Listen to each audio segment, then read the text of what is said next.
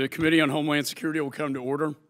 The committee is meeting today to examine the work that the Department of Homeland Security is doing to assist state and local officials to secure election infrastructure, including voting machines, vote tallying systems, and voter databases. In addition to election security, we will also examine DHS's role working across all 16 critical infrastructures uh, because a cyber threat to elections may pose a similar threat to other critical infrastructure sectors. I now recognize myself for an opening statement. Our democratic system and critical infrastructures are under attack. In 2016, Russia meddled in our presidential election through a series of cyber attacks and information warfare. Their goals were to undermine the credibility of the outcome and sow discord and chaos among the American people. This was a provocative attack against our country. We must not allow it to happen again. I've stated repeatedly and long before the last election that foreign interference in our democracy cannot be tolerated. I strongly believe we'll be targeted again this November in the midterm elections, and we need to be prepared. And that is why we included $380 million in grants to the Election Assistance Commission and $26 million to the Department of Homeland Security for election infrastructure in FY18. These funds will enhance election technology and bolster cyber readiness. However, malicious use of the internet and the exploitation of social media are not just aimed at our election systems. In March, the FBI and DHS reported that Russian hackers attacked American nuclear power plants, crippling or shutting down major parts of our energy sector would be catastrophic. Russia has already done this to our allies. In 2015, a cyber attack turned off electricity for hundreds of thousands of Ukrainians. And last year, I stood on the front lines of Russia's cyber war in Ukraine and saw the effects firsthand. Nation state hacking is real and it's dangerous. Unfortunately, Russia is not the only villain. Between 2011 and 2013, Iranian hackers attacked dozens of U.S. banks and tried to shut down a dam in New York. In 2014, Chinese hackers stole 22 million security clearances from OPM, including my own. These attacks and others are part of a greater onslaught being waged against the United States. As a result, I've made strengthening our cybersecurity a top priority of this committee. In the past year, we have passed legislation to create the Cybersecurity and Infrastructure Security Agency to elevate and operationalize the cybersecurity mission at DPS, DHS, authorize cyber incident response teams to assist local and state officials in identifying cyber risks and restoring essential services, and reauthorize DHS to ensure it offers services to local and state election officials upon request. We are proud of these accomplishments, but we can always do more. So today's hearing gives us a chance to offer new ideas and promote new solutions to help protect our elections and other critical infrastructures. I'd like to thank the witnesses uh, for being here today. We're uh, grateful for your service to the country uh, and expertise and look forward to working with each of you. And with that, the chairman now recognizes the ranking member. Uh, thank you very much, Mr. Chairman. I want to thank you for holding today's hearing on election security.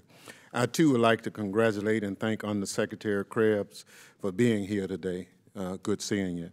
I look forward to working with you to make sure DHS legislative authorities and responsibilities related to cybersecurity are well understood and to ensure that the department has the resources it needs to carry out the mission effectively.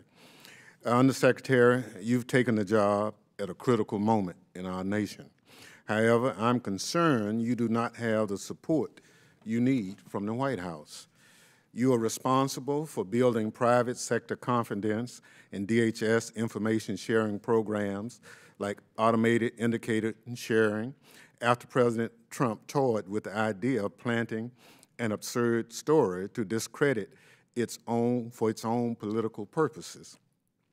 You are responsible for securing federal networks at a time when the White House National Security Advisor has decided to eliminate the National Security Council's cybersecurity coordinator.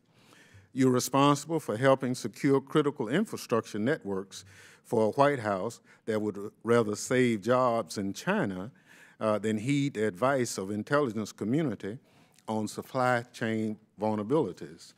And you are responsible for helping state and local governments secure election infrastructures following Russia's brazen election meddling efforts in 2016, which the president has been reluctant to call out and which congressional Republicans until recently were content to ignore.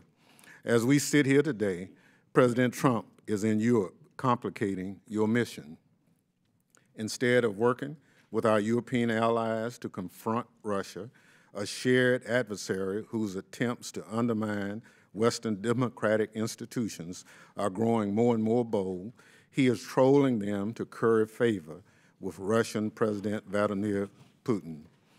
President Trump has said he will address Russia's 2016 election meddling in a meeting with Putin, but he has never demonstrated a credible ability to confront Putin in our intelligence community's findings. He's predicted his meetings with Putin may be the easiest so I know and I have no reason to believe anything productive will come of it. This president's failure to take seriously the threat of our democracy is one of the main reasons that we must do effective and thorough oversight in this body. Although I'm pleased that the majority has finally scheduled today's hearing, I'm disappointed that the majority failed to invite a full range of stakeholders including the Election Assistance Commission, uh, hold a hearing at a time when DHS's federal partners were available to participate. It's important to note for the record that committee Democrats have been requesting official oversight activities on election security since before the 2016 election. And in March 2017, after months of inaction by the Republican majority, I introduced a resolution of inquiry seeking information from the department on its activities relating to counter, countering Russian election interference in the 2016 presidential election so we would understand how to protect our elections in the future. It was unceremoniously rejected along party lines. Committee Democrats have written to the chairman no less than five times since August 2016 to request a hearing, briefing, or investigation on vulnerabilities to our election infrastructure. We've also reiterated these requests on numerous occasions on the record. Despite these repeated requests, this committee did not conduct a formal hearing or briefing on the topic until April 2018, 15 months after the intelligence community released its report concluding that the Russian government had attempted to interfere in the 2016 elections and would attempt to do so again. When the Trump administration's six top intelligence officials testified before the Senate that Russia was targeting our 2018 elections, this committee, the committee that prides itself on acting in the wake of current issues, followed suit of the House Republican Conference by shirking its responsibility to act on this urgent threat. Ranking members of the Oversight and Government Reform Committee, the Foreign Affairs Committee, Judiciary Committee, the Permanent Select Committee on Intelligence, the House Armed Services, uh, and the House Administration Committee have all urged the chairs of Speaker Ryan to aggressively address this ongoing national threat.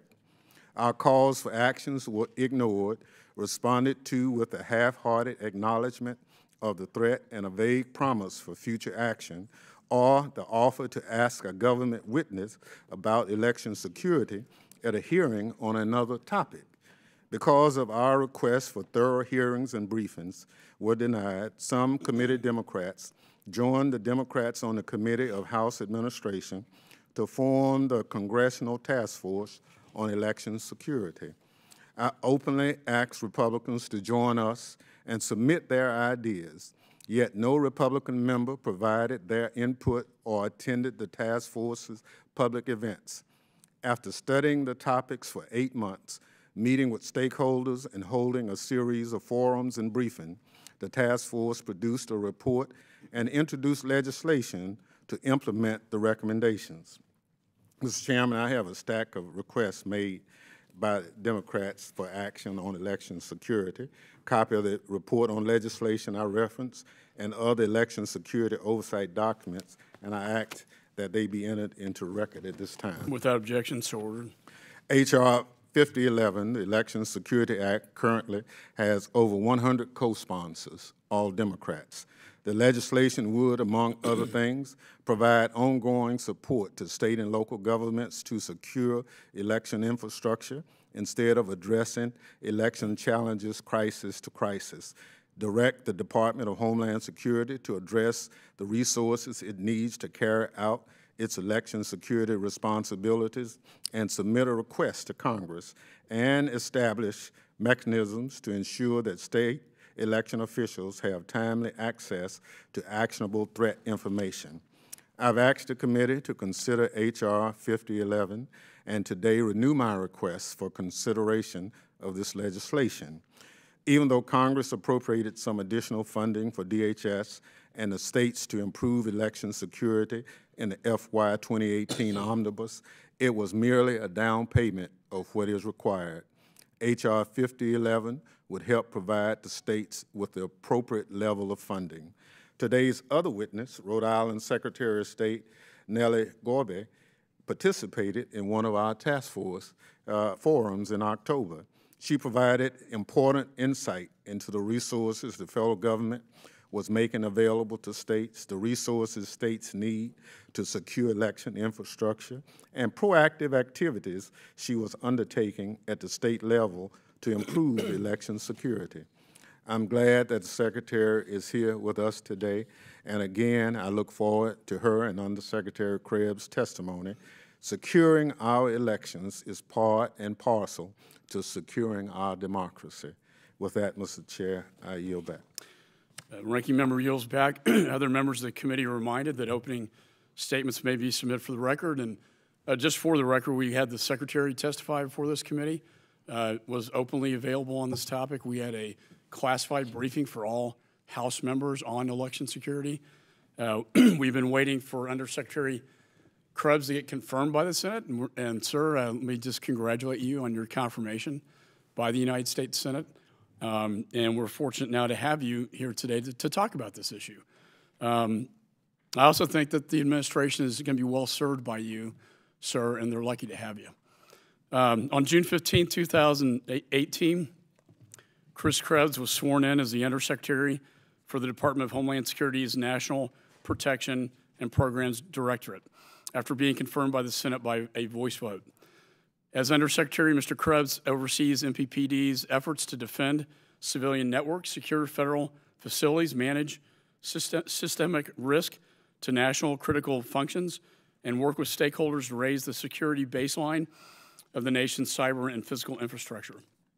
This is his second tour working at DHS, previously serving as a senior advisor to the Assistant Secretary for Infra Infrastructure Protection and playing a formative role in a number of national and international risk management programs. I appreciate your leadership in both the private uh, and the public sector, sir. Thank you for being here. I now would, would like to yield to uh, Mr. Langevin from Rhode Island to introduce the Rhode Island Secretary of State. Thank you, Mr. Chairman. I want to thank you and Ranking Member Thompson for uh, reaching out to me to uh, facilitate inviting uh, Rhode Island Secretary of State uh, Nell Gorbea here to the committee uh, for, to hear her testimony and the progress she's made in securing election, Rhode Island's election systems. And uh, before I introduce Secretary Gorbea, I just want to take a moment to publicly congratulate Secretary Krebs on his finally being confirmed officially. we had a brief conversation, and I want to publicly again congratulate you, Secretary. I appreciate the ongoing relationship and work that you and I have done together and, and uh, discussions we've had on election and cybersecurity, in particular election security. I hope that dialogue can continue in our uh, working together. Um, but, uh, Mr. Chairman uh, and Ranking Member Thompson, very proud today to be honored uh, to be able to rec recognize and uh, welcome Nellie Gorbea, Rhode Island Secretary of State, to the panel today. Secretary Gorbea has helped position the Ocean State as a leader in election security. Under her direction, Rhode Island replaced all of its two decades old voting equipment prior to the 2016 election uh, with, uh, with new paper ballot systems. Uh, following the 2016 elections, Secretary Gorbea uh, has taken all the steps that we need, uh, that we would hope uh, for states to, to take to better secure their, their elections systems. She has emphasized proper IT staffing and training, solicited help from the Election Assistance Commission uh, and from DHS, and proactively exchange information with peers through the multi-state uh, ISAC, Elections Infrastructure ISAC, and the National Association of Secretaries of State. Now, with the help of Federal grants appropriated by this Congress, Secretary Gorbea is directing the overhaul of Rhode Island's voter registration database, initiating local-level grants to increase security, and implementing the country's second mandatory post-election uh, risk-limiting audit process. Just as importantly, Secretary Gorbea has implemented reforms to increase voter access to the polls in Rhode Island, including online and automated voter registration. Secretary Gorbea, thank you for, uh, for making the trip down from Rhode Island uh, to be here today uh, with us, and uh, thank you for your ongoing efforts to expand Rhode Island's access to the polls and to prevent foreign adversaries' access to the same. Uh, Mr. Chairman, uh, this is a position that I once held as Rhode Island Secretary of State.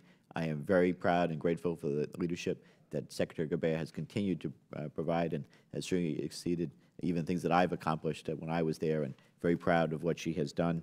And uh, I hope you and all of our colleagues take the opportunity to ask Secretary about her successes uh, and uh, how Rhode Island's leadership can be a model for other states to follow. Thank you, Mr. Chairman. With that, I yield back. Gentleman yields back. Thank you both for being here today. Your full written statements will appear in the record. The Chair now recognizes Undersecretary Krebs for an opening statement. Chairman McCaul, Ranking Member Thompson, and members of the committee, thank you for today's opportunity to testify regarding the Department of Homeland Security's ongoing efforts to assist state and local election officials, those who own and operate election systems, while, uh, with improving the resilience of election security across America. Today's hearing is timely as primary elections are generally complete. Election officials now have some time to reflect and get ready for the November midterm elections. In fact, later this week, our leadership team at DHS will meet with election officials as they gather in Philadelphia for their national summer conference. It's not lost on me that we will discuss defending our democratic institutions in the very cradle of democracy, the city that birthed this great nation. The 2018 midterms remain a potential target for Russian actors but the intelligence community has yet to see any evidence of a robust campaign aimed at tampering with our election infrastructure along the lines of 2016 or influencing the makeup of the House or Senate races.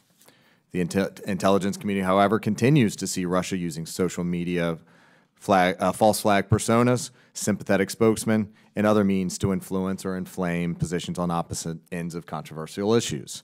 These efforts appear to be more focused on dividing rather than targeting specific politicians or political candidates. Nonetheless, we remain vigilant, and any attempt to undermine our democracy will be met with consequences. In the meantime, we will continue to work with our election partners to strengthen the resilience of our election systems. As I've traveled across the country during primary season, it's clear to me that secretaries of state and other election officials are not sitting back. They take cybersecurity and security in general seriously. Our mission at DHS is to help our stakeholders better understand and manage the risks they face. Through concerted efforts, in part by building relationships, establishing trust, and understanding what it is that our stakeholders need to manage their risks, we have made significant progress over the last year and a half. Working with state and local election officials, as well as with private sector partners who support them, we have created government and private sector councils who collaboratively work to share information, promote best practices, and develop strategies to reduce risk to the nation's election systems. We've also created the Election Infrastructure Information Sharing and Analysis Center, or ISAC, made up of over a thousand members in just under five months, including all 50 states. We're also sponsoring security clearances for multiple election officials in each state. We've increased the availability and deployment of free technical services.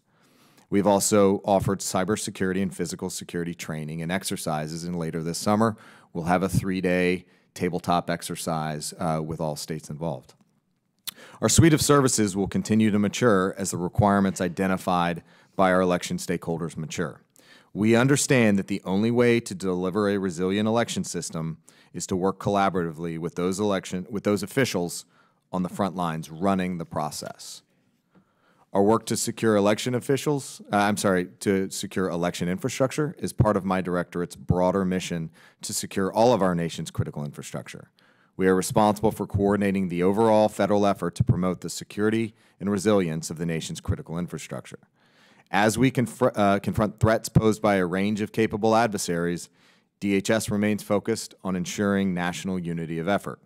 It is critical that we combine the unique uh, expertise of the intelligence community, law enforcement, sector-specific agencies, and others to provide an integrated approach to risk management across our nation's critical infrastructure. Rarely is a cyber event sector-specific. Our adversaries target systems that are cross-sector, and the growing interdependencies across sectors demand this integrated approach. Accordingly, DHS serves as an information and operations integrator focused on delivering cross-sector public-private risk management strategies to enhance the resilience of our nation's infrastructure. Before I conclude, I'd like to take a moment to thank Congress, and this committee in particular, for legislative progress thus far in strengthening DHS's cybersecurity and crit uh, critical infrastructure authorities. Specifically, we strongly support final passage of legislation to create the Cybersecurity and Infrastructure Security Agency, CISA, at DHS, which would rename and reorganize the National Protection and Programs Directorate. This change reflects the important work we carry out every day to safeguard and secure our critical infrastructure. Thank you, and I look forward to your questions.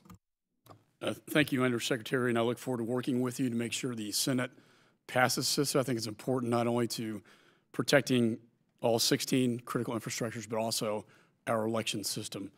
Uh, Chair now recognizes the Secretary of State, uh, Gorbea, for an opening statement. Your microphone. Good morning, and thank you, Chairman McCaul, Ranking Member Thompson, and members of the committee for the invitation to participate in this important discussion. I commend your committee for holding this hearing to learn more about what's being done at the federal, state, and local levels to protect our nation's election systems and what can be done to improve upon uh, this work. Advances in technology have brought with them a paradigm shift in elections administration. Cybersecurity is at the forefront of elections conversations taking place right now at every level of government across the country. But before I continue, I want to recognize and thank Congressman Jim Langevin for his visionary leadership in elections administration and his past service as Rhode Island's Secretary of State, and whose uh, shoulders I definitely stand on as I do the work I do today. Today, Rhode Island and almost all other states face new challenges that can be summarized as follows. First, Although this is not currently the case in Rhode Island, many elections across our country are being run on equipment that is either obsolete or near the end of its useful life.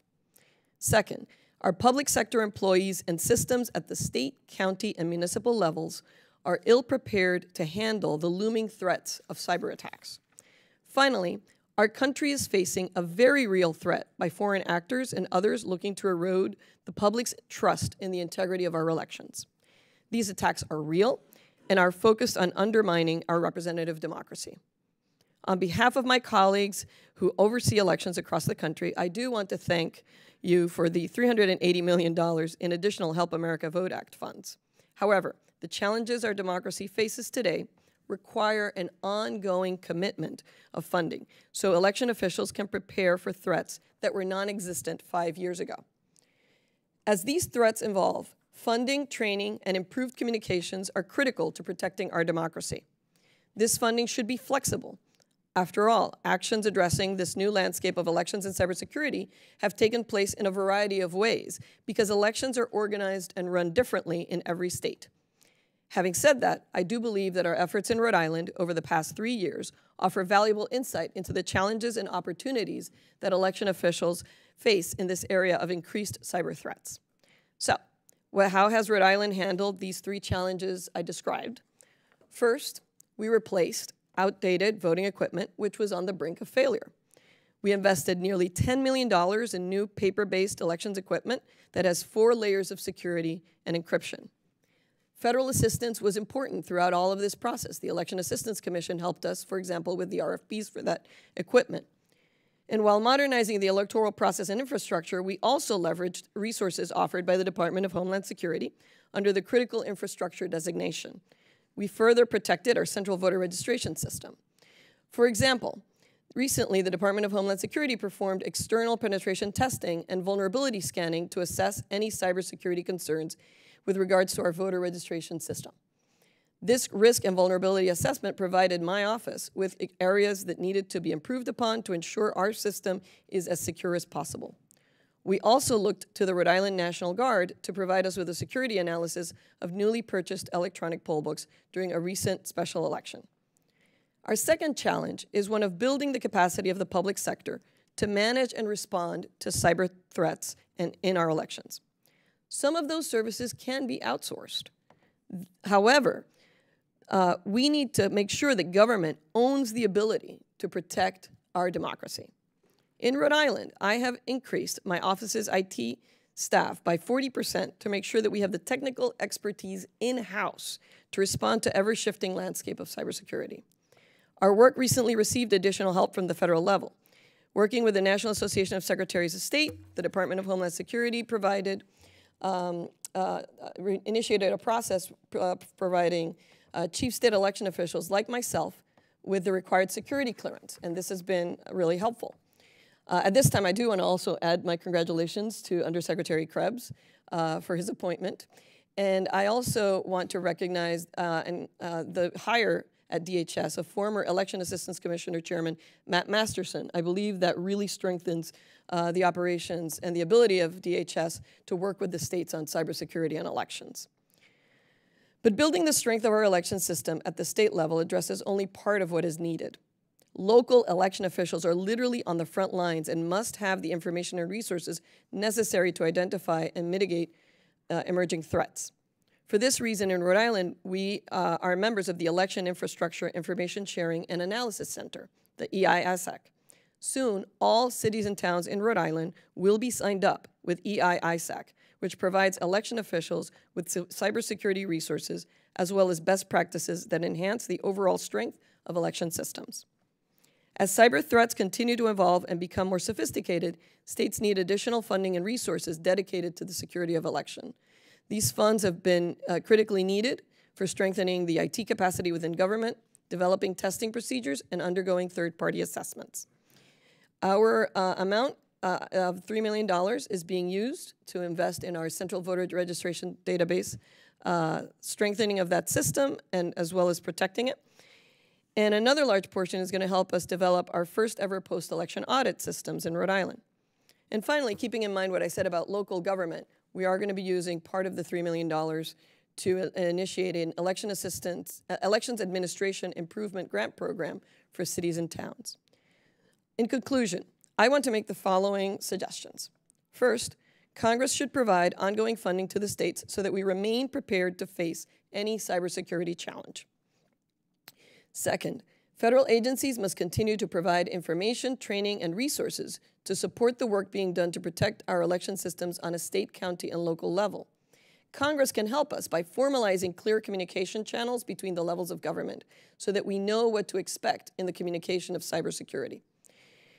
Finally, Congress must also continue to provide active oversight in this area that now recognizes the new balance that must be struck between the secrecy required for security measures needed to safeguard our democracy, at the same time as we balance it with the transparency and access to information that ensure an open government.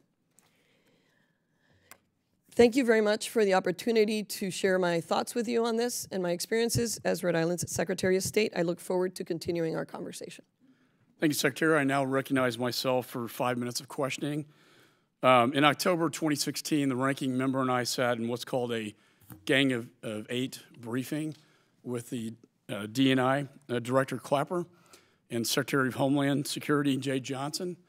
we were briefed uh, at that time in a classified setting. Since then, the information's been made public that Russia was attempting to meddle in our elections using a, a, a campaign information warfare uh, model. Um, I would I have to say it was very disturbing. I think I speak for the ranking member as well. Um, I urged then at that time the, that the previous administration to call out Russia for what they were doing and that there should be consequences to their actions. I've also said the same thing to this administration that Russia needs to be called out and there should be consequences. Congress uh, passed sanctions, harsh sanctions against Russia for their conduct. Uh, with that, Mr. Krebs, I want to ask you if you, as we move into the 2016 mid, or 2018 midterm elections, can you tell me what the threat level is from foreign adversaries and foreign nation states um, to potentially meddle in the upcoming elections? So, as I uh, mentioned in my opening statement, we have not seen anything, certainly to the degree of 2016, in terms of specific hacking of election systems. And I think at this point, it is it's important to to distinguish or differentiate between directed technical attacks against IT systems, much like what we saw in 2016 with uh, the the database, the voter registration database, the scanning, that is the cybersecurity technical piece of it. And then there's also an information operations element of it. And I think that's fairly well characterized in the uh, intelligence community assessment. Uh, we, we, are, again, not seeing on either hand something that rises to anything that rises from uh, to the level of 2016 directed, focused, robust campaign. But we do see continued Russian activities. The intelligence community continues to see Russian activity in the sowing discord across the American public. And it's not, again, directed necessarily at politicians uh, or political campaigns, but it is focused on identifying divisive issues and sowing discord and creating chaos and, frankly, undermining democracy. So it'd be, it'd be more of this campaign information or disinformation warfare. I, yes, sir. That's the way I'd characterize it. We're seeing more along the lines of information operations uh, rather than directed technical attacks or anything focusing on elections, uh, particularly the midterms. So that, that leads me to the, the, vulnerabilities in the election system itself.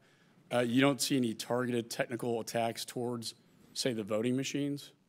Uh, in terms of the well, stepping back a little bit on the voting machines, and I, you know, of course, would defer to Secretary Gorbea on what she has seen in Rhode Island. Uh, we're voting systems in and of themselves are systems of systems. So we have uh, the the voting day, which is what people typically think of with e-poll books and the optical scanning machines or the DREs, uh, and then you have a broader system that supports uh, the back end, the information management systems that uh, store voter registration just like any IT system, there, there are going to be vulnerabilities just by the very nature of it. There are a series of compensating controls, uh, even on DREs, that can limit risk. And, and ultimately, what we're looking for here is not a 100% secure system. Just like any IT system, there is no such thing as a secure IT system. What we're looking for is resilience in the system. And to, to think about this maybe in a, in a different way is, uh, over the course of the last couple months through uh, primaries, there have been a number of issues with IT systems. And California had a, um, a voter uh, printout, uh, uh, about 118,000 voters across across a thousand precincts in LA County. And then just recently in Maryland, there was a uh, issue with transferring registration information from the DMV to the Secretary of State, State's office. And what we're really seeing there more than anything is that, yes, there are technical challenges, but the way the system is engineered or architected, in, in part due to work by Congress, uh, in HAVA in particular, is that even if you showed up to vote and your registration had been whether accidentally or intentionally deleted from a voter registration file, you have the ability to request a provisional ballot. So, if in 2016, when the Russians were in the Illinois state registration database, had they deleted voter registration files, Illinois citizens would have been able to show up.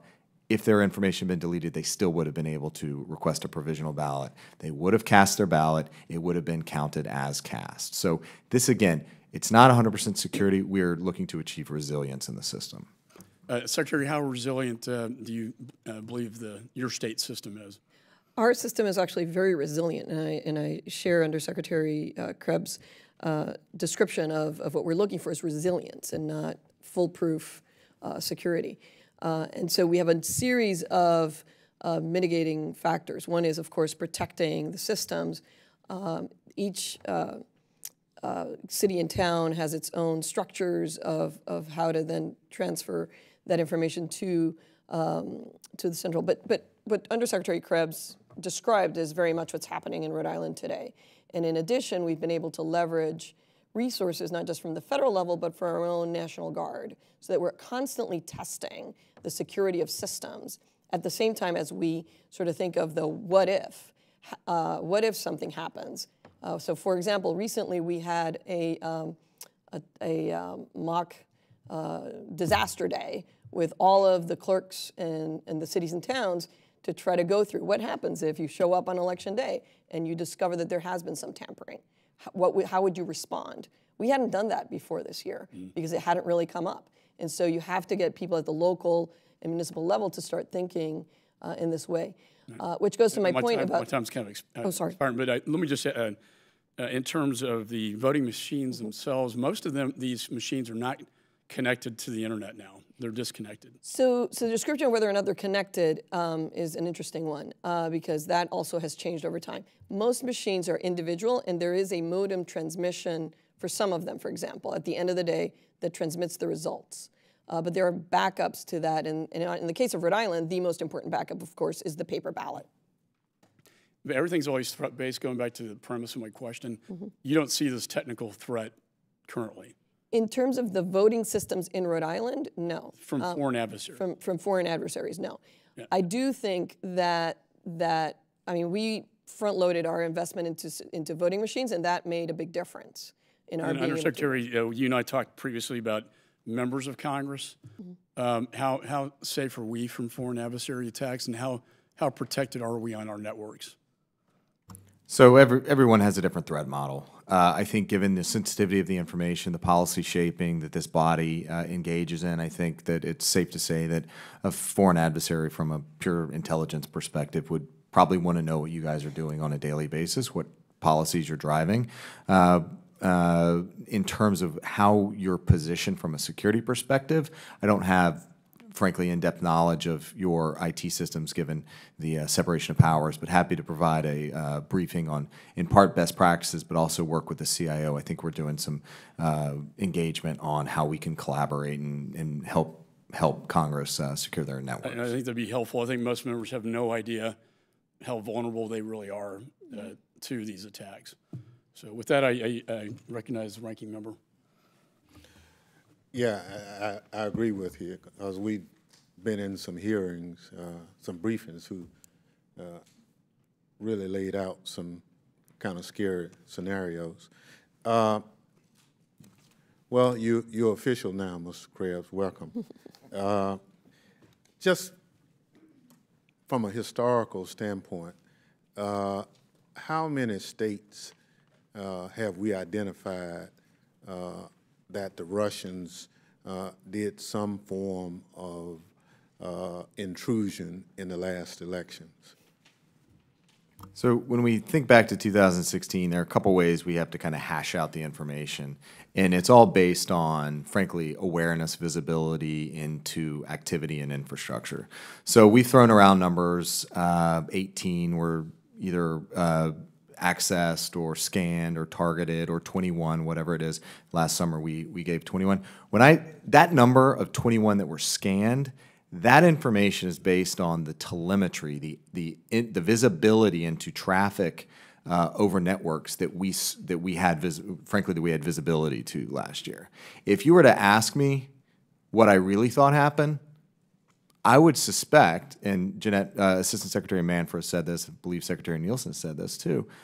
I, I would suspect that the Russians probably scanned all 50 states and five territories and the District of Columbia. Scanning, it happens every day. It's an automated process. I just, uh, I, again, I think based on the 21 number, that's on what we were able to see. We have better visibility going into 18. We uh, basically have, will have access uh, to close to 50% of visib, uh, I'm sorry, 100% visibility into at least the state networks. So is that scanning considered a vulnerability? The scanning is, is, a, uh, is a threat. A vulnerability would reside in the system. Uh, the scanning is the actual foreign adversary's actions uh, to look for vulnerabilities. So since, whether it's 18, 21, or whatever, how many states have we uh, worked with to identify, uh, help them identify potential threats or, or whatever? So at this point, sir, we are working with all 50 states. We have all 50 states as members of the Election Infrastructure Information Sharing and Analysis Center. Uh, that is uh, since February when we stood up the ISAC.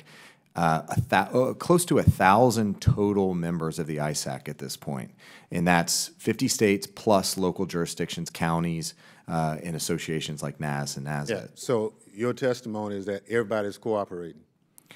There are levels of cooperation, as always. Everybody has different capabilities at the state level and different resourcing as well. But at this moment, I can say that all 50 states are participating in the ISAC. Explain resourcing. Uh, so resourcing would be how they're funded at the state level. Um, you know, uh, Secretary Gorbea was fortunate to have resources from, uh, provided by the state treasury that she could in 2016 uh, or prior to 2016 uh, replace her uh, outdated equipment. Not all states are similarly resourced.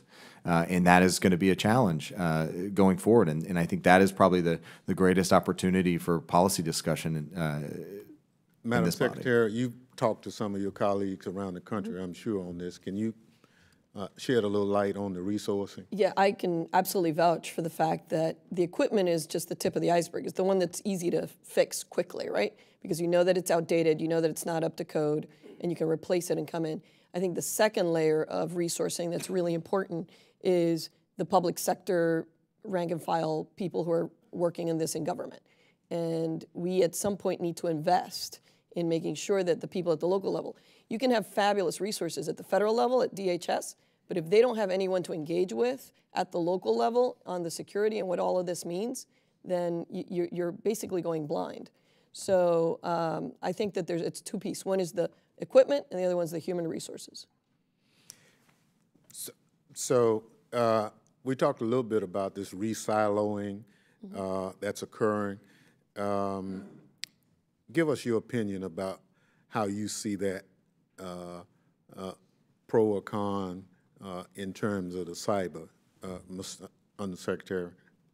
So I thank you for the question. I think this one's pretty clear. The Homeland Security Act 2003 provided the Secretary of Homeland Security very clear authorities to lead uh, the critical infrastructure protection activities of the, across the federal government uh, in coordination with sector-specific agencies, the intelligence community, and law enforcement. So I think to the extent that that we are creating duplicative uh, whether it's liability protections or information sharing or information uh, uh, integration centers, I think that is having a net negative effect. It's in, in some cases it could put us into uh, something along the lines of a, of a pre 9 11 po- uh, position where we don't have that integration. That's why in my opening statement I said several times the DHS is an integrate is an information and operations integrator. That is our role. Right, so, uh, in other words, it, it will make us less secure. Uh, that is my belief. Yes, sir. Thank you, Mr. Chairman. Gentleman yields back. A gentleman from New York, Mr. King, is recognized. Thank you, Mr. Chairman. We uh, thank both witnesses for testifying here today, and Secretary Krebs wish you the very best. And Secretary Gorbea, thank you for your efforts in Rhode Island and for working with my good friend, Mr. Landriman. Uh, When we talk about cyber activity by the Russians, you know, today we seem to be focusing obviously on the uh, attempts to hack the election systems, but also they've distorted information, attempted to influence people. What is being done in that, and who has primary jurisdiction over that? So, uh, as I said earlier on, you know, we do look at things at the technical hacking and then the information operations. DHS has lead for supporting state and local governments in the information, or I'm sorry, in that in the hacking space. Uh, FBI has lead in the countering foreign interference in the in the information operations space. DHS does support the FBI's efforts, uh, as does, of course, the intelligence community. Do you want to add to that? No, I I mean, they, they really do have the, uh, the best information on, particularly the information warfare stuff. Right, how is the level of cooperation with the FBI and DHS on that? So most recently, uh, we did have a meeting in February um, with the Office of the Director of, of National Intelligence, the FBI, and Department of Homeland Security that was incredibly helpful to secretaries of state across the country that were all together for their annual meeting. Um, that kind of information is, is critical. We can't, part of the challenge here with elections is elections are decentralized. So, and I think we, we suffered some, you know, beginning stumbling, you know, when all of this came together, uh, where a locality was being informed of a potential breach or, or activities, and the chief state election official, who happened to be Secretary of State, didn't know about it. Now, those those thing, communication activities between the federal and the local and the state level, I think, have smoothed out considerably over the last several months as we learned to get along. Uh, the other challenge is that as elected officials, we deal in the world of transparency and open government. Right. And DHS works in a very different mode. And that's a tension that we need to be conscious of and to make sure that we make we, we accept the adequate provisions for. Now, we also know that Russia is interfering in elections throughout Europe. Uh, More elections coming up, more uh, meddling expected. How much information does DHS share with our foreign allies or foreign countries on this? And how closely do we work with them? I, it's difficult to quantify how much information we share, but I do know that uh, over the last year or so, with various uh, campaigns that have happened in Europe, whether it was France or Germany, we do have cert to cert relationships where we can share technical indicators of uh, known command and control infrastructure of Russian adversaries. So we can help them. You know, we'll share what we know; they'll share what they know. Uh, so I, I do feel as if it's a uh, um, it's a it's a good relationship in terms of the the engagement. And as far as Rhode Island, now you may have covered this in your opening statement, but uh, how much cooperation is there among the states as far as, you know, you sitting down with other secretaries of state? So the National Association of Secretaries of State provides an excellent coming together uh, on a bipartisan basis uh, so that we can have these conversations about what's happening. Uh, we've also, under that uh, advocacy or, or, or non group, bipartisan group, have provided a space for our own IT officials, uh, eh, our rank and file civil servants, to be able to have conversations around security issues and what are best practices. And those are critically important in this day and age. without having to name names, are you, like, are there secretaries of state who resist this, who feel that this plot is over, or or this, uh, you know, you know, threat is overblown? No, I, I don't think that anybody at this point, well, for the most part, I think everybody agrees that there is some level of threat. I think that was made very clear um, in our in our security briefing afternoon.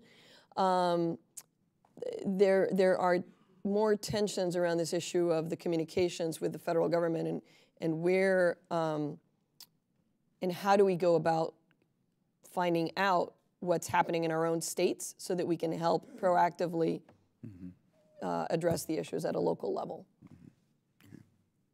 Secretary, you want to add anything to that? or- I, I think that's spot on. As I mentioned in my opening, uh, everyone understands that the threat is real. Uh, the challenge here is, is again, goes to the resourcing issue of I, if I provide information, what can be done about it?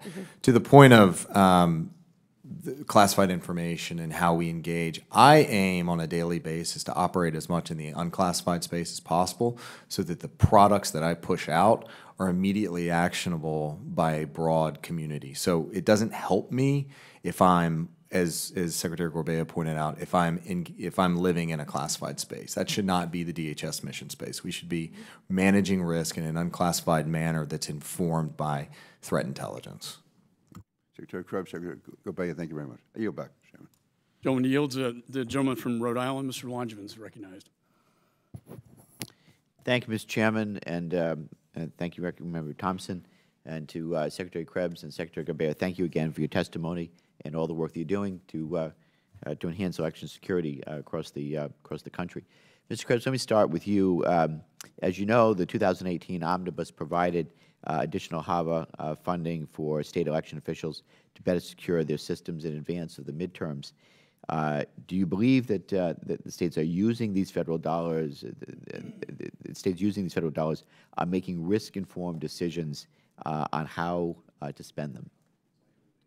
So I do believe that states are using the money in a in a manner uh, that addresses their threat model, their risks uh, scenario.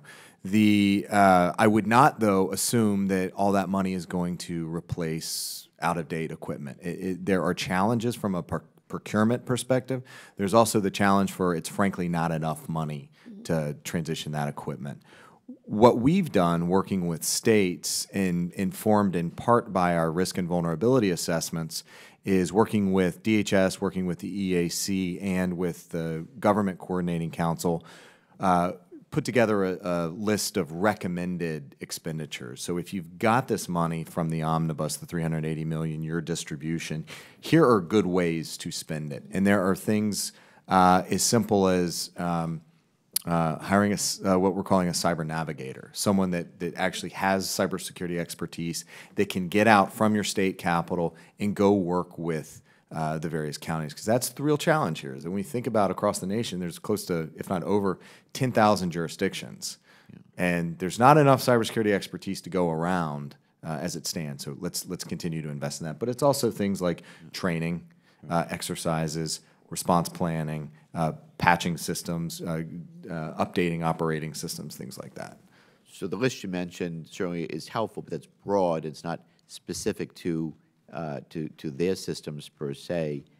I guess my what I would ask would requirements that states conduct uh, risk uh, assessments before using the federal dollars help to ensure maximum efficacy to improve their cybersecurity posture?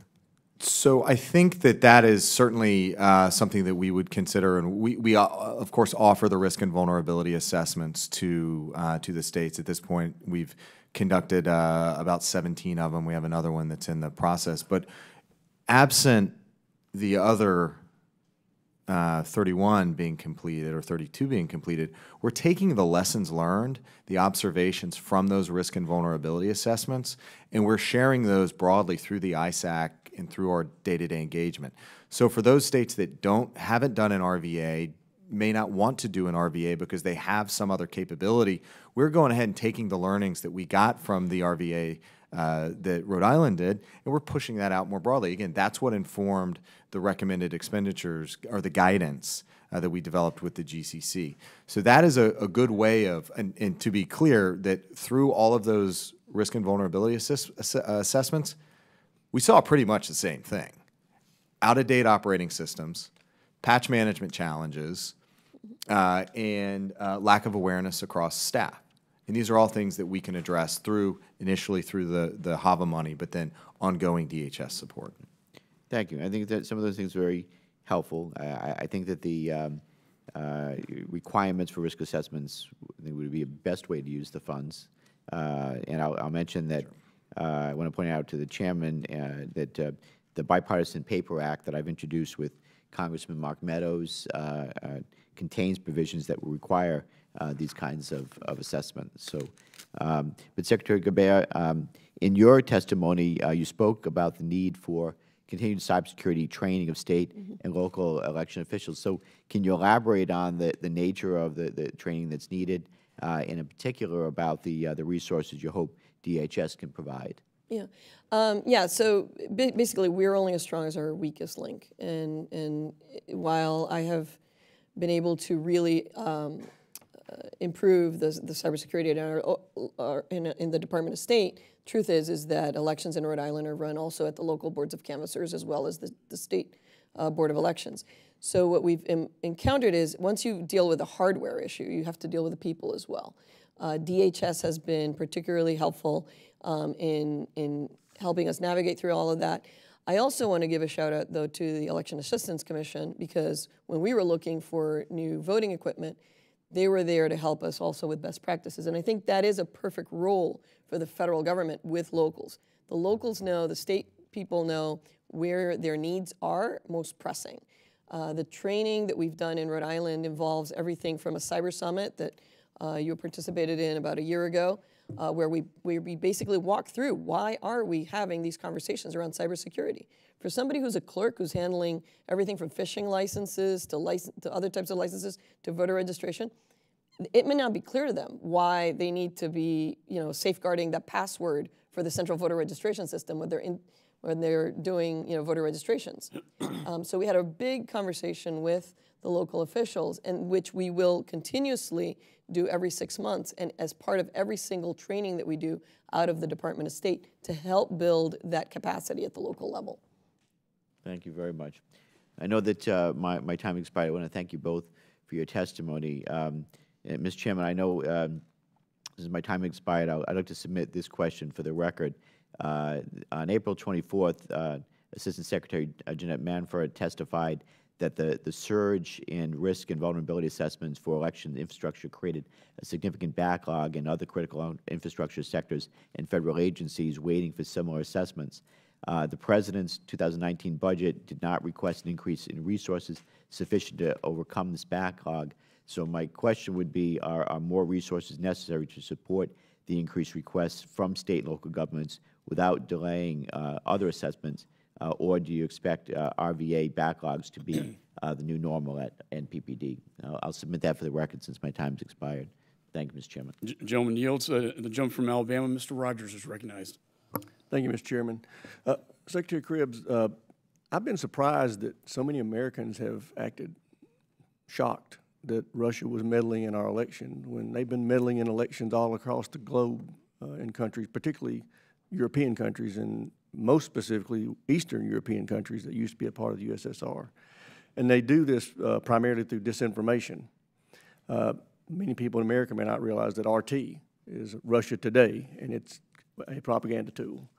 Uh, my question is, since disinformation is their tool of choice or their weapon of choice in meddling in elections uh, across the globe, do you have somebody in your department, or is it your department's job to counter this disinformation when you find it in, in our country? And if not, what department does have that responsibility? So as I, as I mentioned earlier, the way we look at it again is the technical hacking piece, and then there's the information operations. DHS leads the cybersecurity, working with state and local. FBI leads information operations, but DHS does support. So FBI's role working with the intelligence community is identifying specific actors, whether it's Twitter handles or whatever it is, and disrupting those activities. Now, that's only part of the problem, is actually taking down the uh, the disruptive activity. Because frankly, with disinformation, the way to counter disinformation is actually shine light on the activity. So what we are doing at DHS, working with others uh, in, uh, the State Department Global Engagement Center, working with the FBI, uh, is to build a greater understanding and awareness of what their activities are, engaging social media companies, engaging traditional media, and sharing our findings, our trends. Here are the things that they're doing. How do we raise awareness across uh, the American public? And this is one of those cases that um, it's it's different from traditional cybersecurity because cybersecurity elections, for instance, what we are aiming for is resilience in the system. So we can take a lick and we can keep going forward. Disinformation is completely different. It's the, the objective is is anti-fragility. And what that means is unlike resilience where you just want to keep moving through it, with anti-fragility, you want to come back stronger, where you learned from the experience or that engagement. We learned in 2016 that we learned and we closed out that avenue of influence. That's where we're aiming for. So we are doing a good bit of trend analysis of how we're seeing Russian actors engage uh, through information campaigns uh, and, and operations, and looking for opportunities of intervention to close out those those avenues. So when you say we, are you talking about just DHS? No, sir. It, it is a it's a it's a, uh, a cross government agency. I uh, in my operation in, NPPD, working with the Intelli- uh, Intelligence Analysis Directorate, the Privacy Office, the Civil Rights and Civil Liberties Office at DHS, among others, we've established a countering foreign influence task force. Uh, and they, we are looking at um, some of the, the unique authorities the department has. That works in uh, uh, coordination with the FBI's Foreign Influence Task Force. It's also supported by uh, the intelligence community and the State Department. So it is everybody has a um, uh, a role in this, given the unique authorities uh, uh, in the uh, well, frankly, the the unique authorities of the various agencies. Excellent. Uh, Secretary Gorbea, uh, you talked about replacing all of your voting machines in the state. How much did it cost to do that? Uh, $10 million, And how much of that was state money? all of it. All of it was state money, no Yes. federal money was used? No federal money was used. Have you received any federal money for any uh, security improvements? Yes, I mean, well, we will be using the 3 million HAVA funds uh, f- to continue now to really tackle our central voter registration system, which was developed with actually the first batch of HAVA monies. Uh, And so uh, that application will be rewritten and strengthened. Yeah, you mentioned earlier in your opening statement that you needed to make some improvements to your central database. What exactly are you talking about? So just protecting, further protections, uh, you know, our, our, the focus of our risk vulnerability assessment was actually our central voter registration database to make sure that we didn't know of open doors throughout our systems that somebody might come in through. So that Is it connected to a network? as- uh, Yes.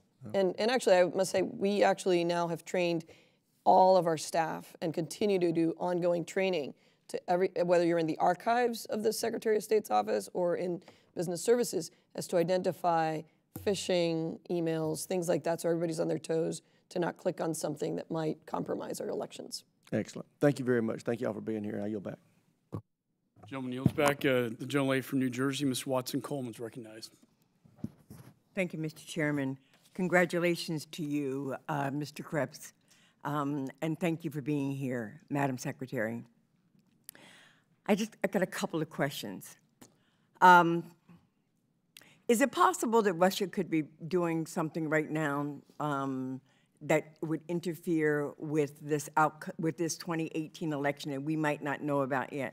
Could they possibly be involved some way now, or is it just too early?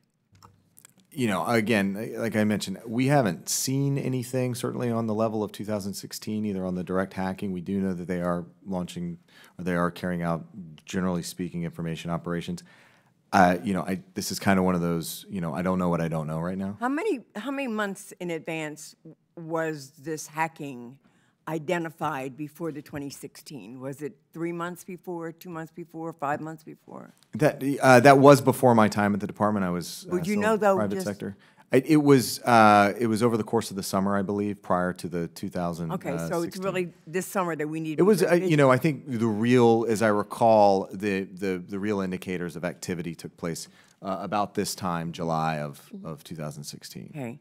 Um, It's really confusing to me, all of the various agencies that are, have a piece of this. So is there like a routine meeting that you all have around these issues?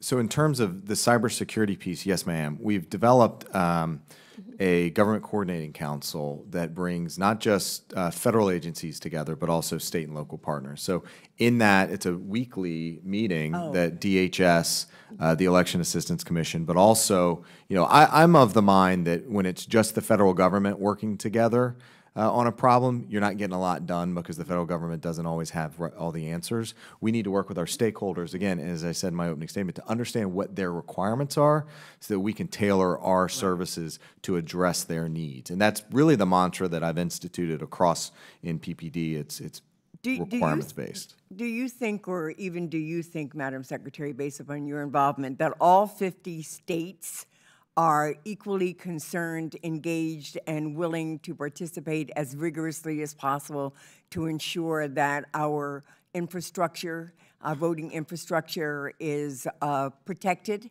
and our voters' votes are counted? So I, I cannot speak for all 50 states. I can tell you that at the National Association of Secretaries of State, these issues have been highlighted and discussed uh, more so than I ever thought when I was running for Secretary of State. Well, so like the president still doesn't believe that this has happened because Vladimir Putin has told him that it hasn't. In your um, sort of interactions, are there any states that kind of are where the president is on this, that it really didn't happen, it's crap? Or does everyone recognize, except for the president, that this did happen? I personally have not had any conversations uh, that can So- be characterized that way. $38 million has been um, appropriated to help various states uh, protect their systems or do whatever they have to do. Does that include um, money going down into the municipalities and the counties to train people, to do the audits that need to be done, to um, replace the equipment that needs to be replaced? Mr. So the 380 million in the FY18 omnibus is a broad, uh, is available for a broad set of, uh, But it can, it goes to the states, and then the states will decide how to spend it. it, I believe it That, depends on. that is correct. And it's, uh, there's actually a fair, there, uh, while there are guidance in sort of big buckets of categories, it's really allow, it it really allows the, the, the chief state election official to allocate it in the best way possible. that So th- it's been indicated that the states have suggested a $380 million, while a lot of money is not adequate. Do you have any idea what that number should be from their perspective? Not, not offhand, although I can use Rhode Island as an example, for example. So we, we are receiving uh, $3 million. Our replacement alone Right. of voting systems, of the machines, was $10 million. And that was purely state money. That's right. So if a state doesn't have it, and this $380 million could be legitimately used for it, um, it seems like it really could be a lot more, depending upon how many states have the capacity to do this and want to do it. Yes, that is correct. Okay, all right. Uh, Thank you, thank you. I yield back. Thank you, Mr. Chairman. Generally yields. Uh, The gentleman from Pennsylvania, Mr. Perry, is recognized. Thanks, Mr. Chairman, and, and congratulations, Secretary, and welcome, uh, Madam Secretary. Appreciate your presence. I just want to make sure I understand the playing field and in the context that Russia or, or the USSR in its previous version has been involved in the United States and undermining the United States since, since 1917, since the Bolshevik Revolution. I mean, and the history of the Venona transcripts and recepts show that they infiltrated our government at the various, very highest levels and influenced policy in magnificent effect in the decades past. But under, so, so this is nothing new, but, but in the current context, uh, Madam Secretary in particular, do we know of, and, and, and Secretary, if you know, they, their incursion into the most recent federal election, the presidential election, uh, they didn't change any of the votes as far as I know, right? That we're, we're talking about uh, information gathering, and, but I think in the greater sense, we're talking about prop, propaganda and influence operations as, as opposed to vote tampering or changing. Am I correct in that assessment? So from the, the extent of our understanding in 2016, that- rather the extent of their access was to voter, a voter registration database. uh, That was not a vote count, it was well kind of left of voting day. So they were able to get into uh, a, a state voter regi- uh, registration database and exfiltrate some data. And, and their interest in, in, in looking at the voter database, so to speak, was to then provide propaganda or information to key voters or to target I, voters. I'm not. I, I'm not actually sure that that that's uh, that that was their intent. Uh, in fact, I think to a certain extent, they didn't know necessarily what they were looking at. They were in a certain, to a certain um, perhaps mucking around in a system trying to figure out where they had landed and where they were and understand. Frankly, how the systems worked and how they interoperated. Uh, but to be clear, we did not see them having access to any machines, equipment, or whatever that was involved in vote or vote tallying. And it's because of the lack of network access and decentralization of the voting system among states that even if they would have wanted to, they figured out where they wanted, were and they wanted to influence it, had been very, very difficult. That, that's my understanding, but I want to clarify that or have you clarify. That's that's certainly a contributing factor. Yes, sir. Okay.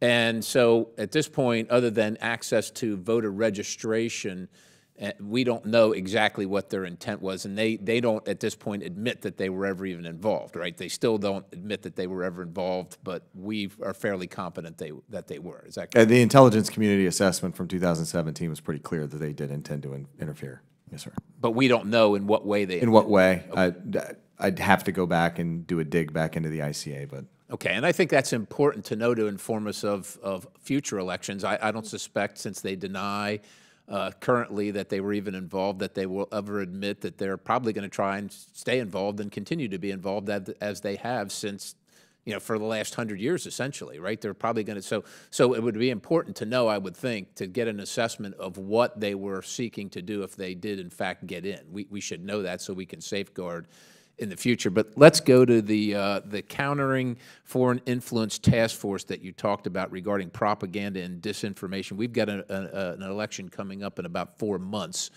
Will that organization be prepared at that time to inform, by whatever method it deci decides and determines is appropriate, the American public of things like Russia Today or uh, uh, ads on social media, et cetera, to influence uh, via propaganda the American electorate. Will they? Will that task force be prepared at that time to in, be engaged? So my, my, task force, I wouldn't think of it as an incident response capability. I think of it more of as an analytical cell. See what the activities they do over time, what their what their uh, tactics, techniques, and procedures are, and build up a body of knowledge to then share, generally speaking. Here are the sorts of things they do.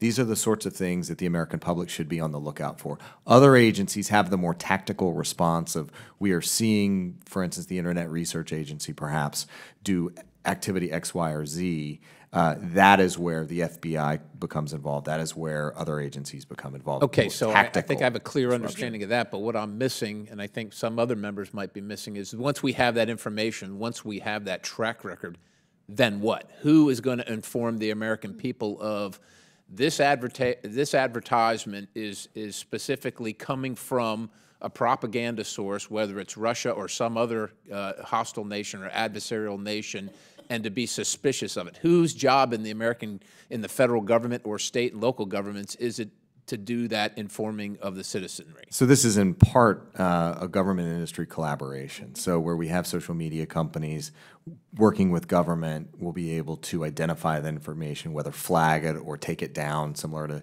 terrorist use of the internet, where they remove content, uh, disable accounts. Uh, that sort of activity can happen on the, the private sector side, on the industry side. So it's, it's, it's planned to happen solely on the private sector? No, sir. It, it is, this is truly a partnership. This is going to be, the government will be taking certain actions, and then the uh, private sector uh, will be taking certain actions. I think if you look at what Twitter has done over the last week or so, where they, or last month, couple months, where they've disabled 70 million accounts by press reports at least, I think that's the sort of activity you can, you'll see happening going forward. Okay, thanks, Mr. Chairman. Uh, gentleman yields. Uh, the gentlelady from uh, Florida, Ms. Demings, is recognized. Thank you so much, uh, Mr. Chairman, and thank you to both of you for being here with us today. Congratulations, uh, Mr. Undersecretary, and thank you so much for the work that you're doing in Rhode Island as well. Um, let me just say, I uh, we've heard a lot about what happened in 2016 with our election, and and I grew up in Florida, and Florida's the state that kind of keeps everyone up all night, especially on general election night. I just I think everybody here understands the importance of protecting our systems. But let me just say this: um, I grew up in Florida. I represent a district in Florida. When I think about my parents, my mother was a maid and my father was a janitor. But I cannot remember a time they did not exercise their right to vote. And I think they were so dedicated because they understood that regardless of the color of their skin or where they lived or how much money they did not have in the bank, that their vote mattered. It counted, and it counted as much as any billionaire or millionaire in this country. So why wouldn't we, especially as one of the most powerful bodies in the world in Congress, want to protect this basic right for every American. So I do thank you for the work that you are doing uh, to further that goal. Um, Undersecretary, I was a little bit surprised as we look at the, I think, the viciousness and consistency of Russia and other foreign part, uh, powers that want to attack our, our system, that more states had not taken advantage of the full array of resources that DH, DHS offers. I know that, I believe you said 17 have participated in the risk vulnerability um, assessments. When we think about, uh, number one, I'd like to know, what do you think you could do to encourage more states to participate? even though it's a they have the option, the ability to opt in or not. And also for a state uh, like Florida, if they did today call and say they want the uh, vulnerability risk assessment done, how soon uh, could you get that done? So to your first question, what can we do more of? Uh, the the we need to continue steady state engagement, working through a number of different venues, like uh, the National Association of Secretaries of States. They've been a, a, huge partner of amplifying our message. But it's also important to understand that the, the DHS service of the risk and vulnerability assessment is um, is just one of several options that states have available. We have approached some states. They've said, thank you for the offer, but we have a private sector solution that does exactly that, that's already on contract. So uh, I don't ever, frankly, anticipate getting all 50 states in the risk and vulnerability assessment process. I, I suspect we maybe get to 25, maybe 30. That's that's kind of the stretch. Uh, it is for us again. It is reaching out, continuing the engagement, continuing the education, and really, frankly, more than anything, it's building a relationship and building and establishing trust. We're still getting, you know, I think for the most part, we've gotten over kind of the trust hump that that we uh, the challenge that we had last year. I think we're getting there. So in terms of Florida, or frankly any state that was to ask for a risk and vulnerability assessment, we've been very clear in how we've communicated to our state partners that as soon as you're ready to do a risk and vulnerability assessment, we'll be there. It, it there were discussions uh, last time, I think I testified about a nine month backlog. There, there's no nine month backlog. It's when the state's available to do it, and it's not just show up tomorrow and we'll do a vulnerability assessment. There is it, there's a little bit of prepare, uh, preparation that has to happen and I'm sure mm-hmm. Secretary Gorbea can share her experience. But th there's preparation that has to happen before we can go in there and do our penetration testing. There are legal agreements that have to be signed. There's there's scoping of the the the networks that, that we have to do. So there there are a number of preparatory measures that that do lead to some um, some time buffer before we can actually get in there. Thank you, Secretary. Gorbea. Yeah, no, I have to say, um, you know, on on the ground um, we have found DHS to be actually very responsive. And in fact, one of the first things that they, we were probably one of the first to sign up for the under the critical infrastructure setup. Then the next thing I remember, we had, you know, three people showed up at my office, and uh, the regional director, a program person, a security person, all introduced themselves in person, which I have to say is probably one of the first times I've seen anybody from the federal government, you know, sort of show up in my office um, and, and introduce themselves to my staff. And so that created a bond in terms of a trust factor because I know who I'm dealing with. And that started our process going. And we did do the risk and vulnerability assessment. Um, what I think then, what was interesting is to see the disconnect sort of in a broader basis as, as information at the very sort of in the classified and intelligence level sort of started to happen. There were some misfires in terms of you know, you would, they would contact the locality, but not the chief state election official. If you're a chief state election official and you're also an elected, you want to know what's going on in your state, of course. And that was, I think, really just this is all new territory for all of us. We're learning cyber stuff; they're learning election stuff, and and and I think one of the really big questions as this evolves is that balance between, you know, the security world deals with securing everything down. They don't want to tell, you know, they want to tell as few people as possible. We deal in the world of open government and transparency. We need to be transparent. And going back to the point that was made earlier, people can need to be able to trust their elections. And, and so they do that because we're open and transparent in the way we do things. And that is, I think, at the intersection of where the, the challenge is. How do we secure the elections while not losing the, the democracy in the secrecy of it all? because I can't tell you what's happening, but just trust me. Well, no, that's not going to work in the elections frame. Thank you so much, Mr. Chairman. I yield back.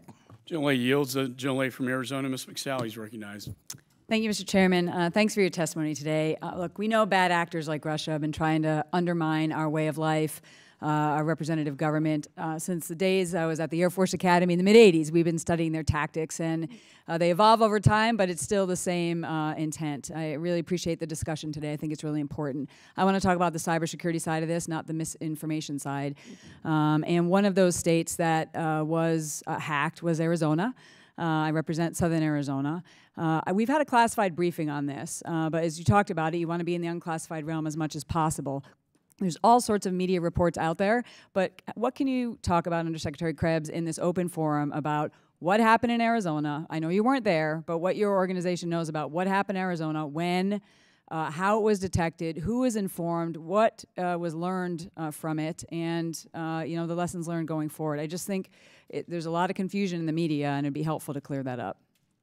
So th thank you for the question, and I'll go ahead and offer off, you know, at the beginning that we come in and provide a, a bit more of a detailed conversation for you. In, in fact, for, for Arizona, uh, it's one of the more challenging situations because it wasn't necessarily uh, related directly to uh, Russian activity. There, there, secretaries of state, uh, election officials, by their very nature, are natural risk managers. They deal with hurricanes, power outages, civil unrest, and criminals that want to get access to personally identifiable information that, that may reside within voter registration databases. So every attack, particularly those that we, or, or incident that we've seen over the last couple months even, um, is, it's not always Russia. And that's one of the, the unfortunate um, aspects of the of the climate right now is that every time you see some sort of disruption, whether it's intentional, malicious, accidental, it, it, it the everyone's jumping to the conclusion of it's Russia. Uh, there are things that happen on a daily basis in elections that that just that just happened. So, so, in Arizona, can, can you just be clear? Uh, I mean, and, and by the way, in Russia, criminal elements are often acting on behalf of the state. Yes, ma'am. So let's not be fooled. But we, we do have criminals here in the United States as well. Uh, so at this point, uh, given the kind of confidential nature of some of these conversations, I can't get too much into uh, the Arizona piece. But I, again, I'd like to follow up with your office on that and see. Yeah, a little and bit I would like to let again uh, the the key of openness and transparency, so people understand, and it can help build their faith in the system that nothing was manipulated, but what's been learned from it, and what are we doing going forward? Yes, ma'am. And uh, again, we understand that in all the uh, hacks that did happen, nothing was manipulated, but it doesn't mean it couldn't have been manipulated. And just because it hasn't happened yet in 2018 doesn't mean it can't happen between now and election day if they choose to, right? Threat equals capability plus intent. Uh, and even though someone can cast a provisional ballot, if a zip code was turned around and jumbled up or their street address, if we don't know that that happened, then the provisional ballot will be thrown out. Or if their voter file was deleted, they'll cast a provisional ballot, it'll be compared, and they say it's not a voter, and it'll be thrown out. So, so just the, you know, I have a concern about the detection and the swift capability moving forward for this election and beyond. Uh, because on election day, if the lines are getting longer and people are hearing something's not right, that in and of itself meets the intent of uh, of the enemy, right? That they're sowing confusion and discord. So, can you just talk a little bit about that? Because again, just because they haven't done it yet doesn't mean they can't do it tomorrow. That that's 100% right. And and that's why we're not necessarily looking back um, at specifics. We are looking back at the two, the specifics of 2016, but given our broader understanding of the IT environments that support elections, we are looking at more broadly where the vulnerabilities are just in the system in general, and what are the things we can do to address those vulnerabilities broadly. It's not just Arizona; it's obviously all 50 states. So um, I the thing that I will reiterate is we are seeing, as I've traveled across the country through primary season, I am continually impressed by the level of seriousness that secretaries of state and state election directors are paying to this issue. Uh, they want more information. They want more threat information. They want more information about how they can understand and manage their risk. Great, thanks. And look, we we manage all this at the county level. We do have our Secretary of State role as well. We're from Arizona. We're generally skeptical of the federal government being involved in anything. Uh, we're you know we're very independent minded. Uh, and so, uh, is, how is your relationship uh, you know with the state there, and and the, un- the understanding of the role that you have while still allowing this to be localized and distributed, which is where it belongs. So we, we do have a relationship with Arizona. Um, we're engaging on a regular basis. I think, uh, as I mentioned, they're a member of the uh, Election Infrastructure ISAC. Uh, every state's different. every architect of a system is different. Um, the threat model is going to be different. Um, and Arizona is different than Rhode Island. So, um, I look forward to following up with you. My time ma'am. has expired, but specifically, thank, thanks a lot. Appreciate it. Gentlelady yields the uh, gentlelady from New York, Ms. Rice, is recognized.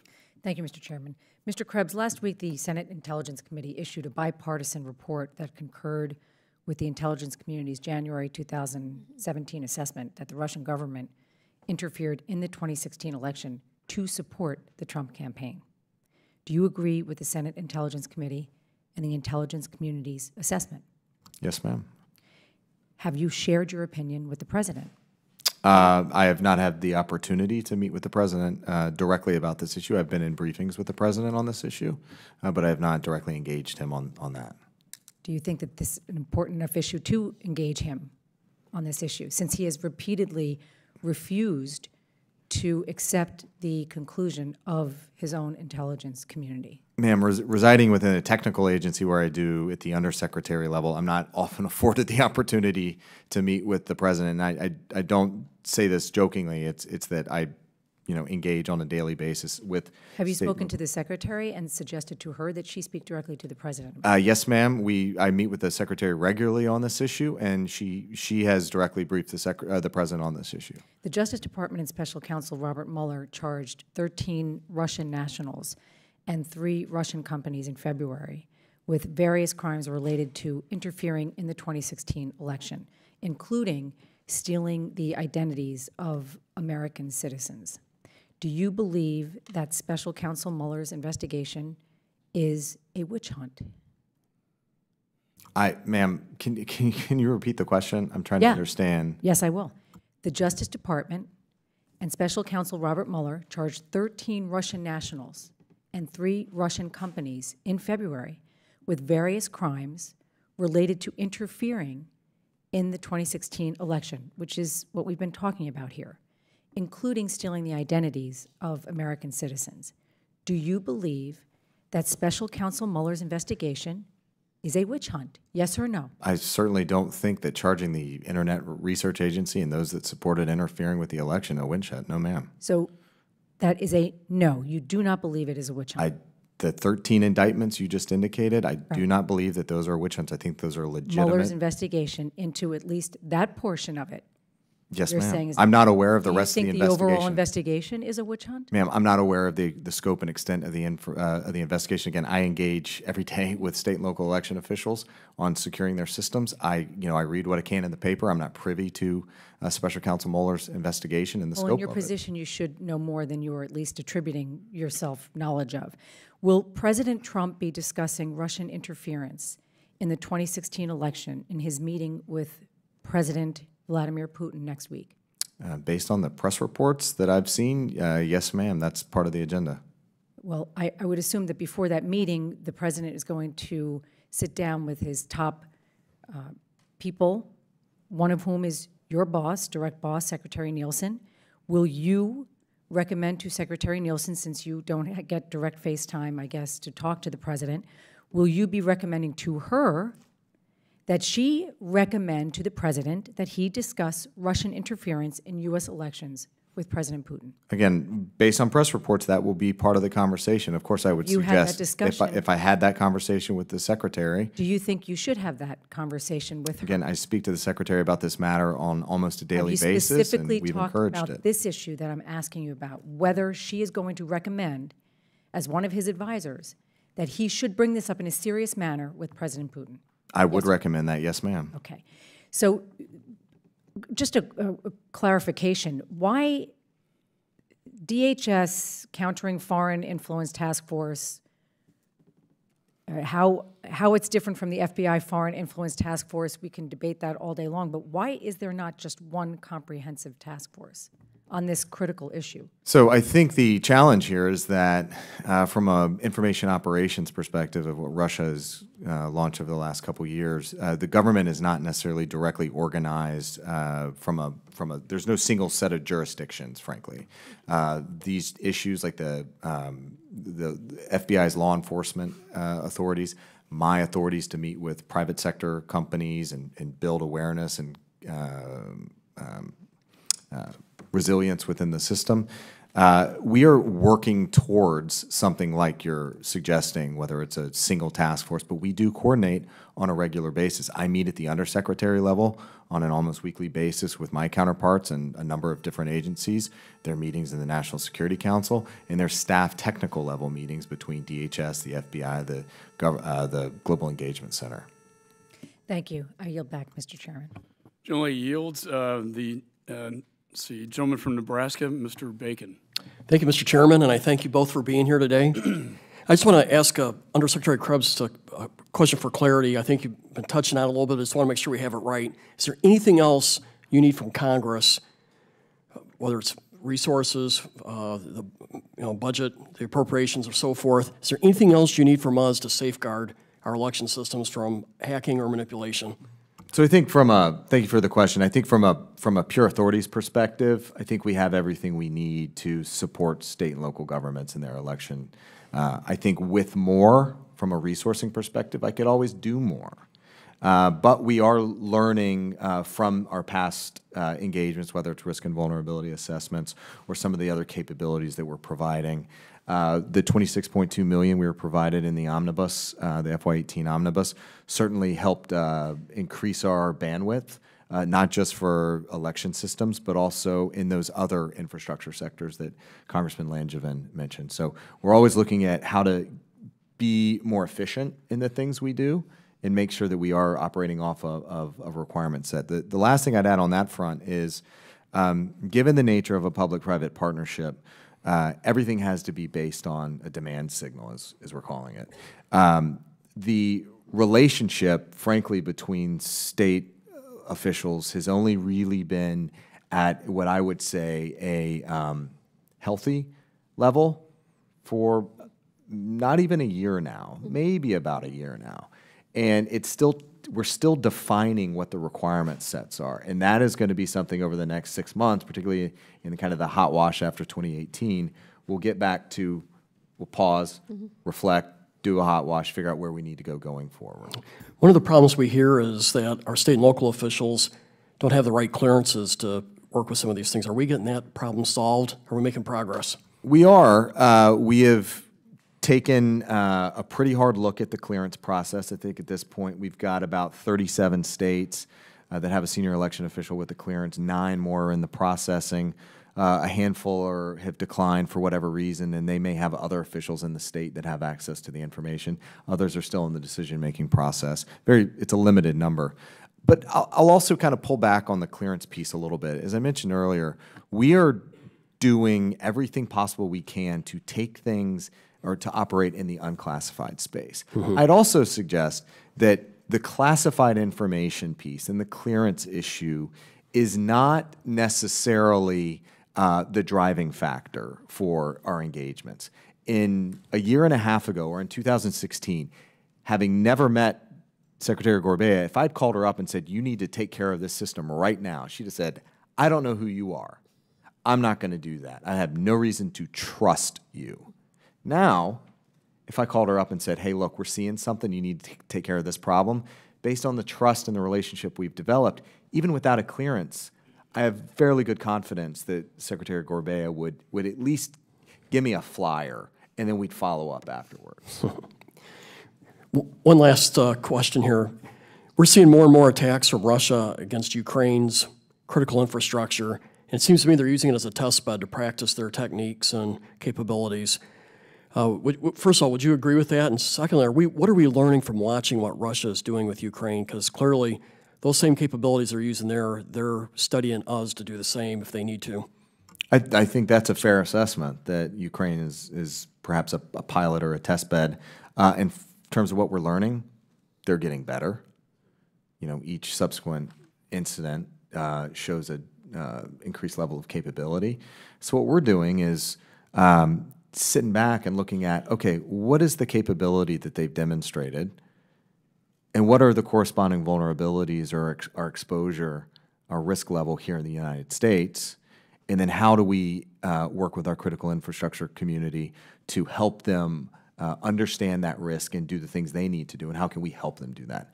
And one of the things that I think I, I we, we need to move beyond information sharing. Information sharing is the foundation of how you manage risk. What we need to do and continue move into is a risk management integration space.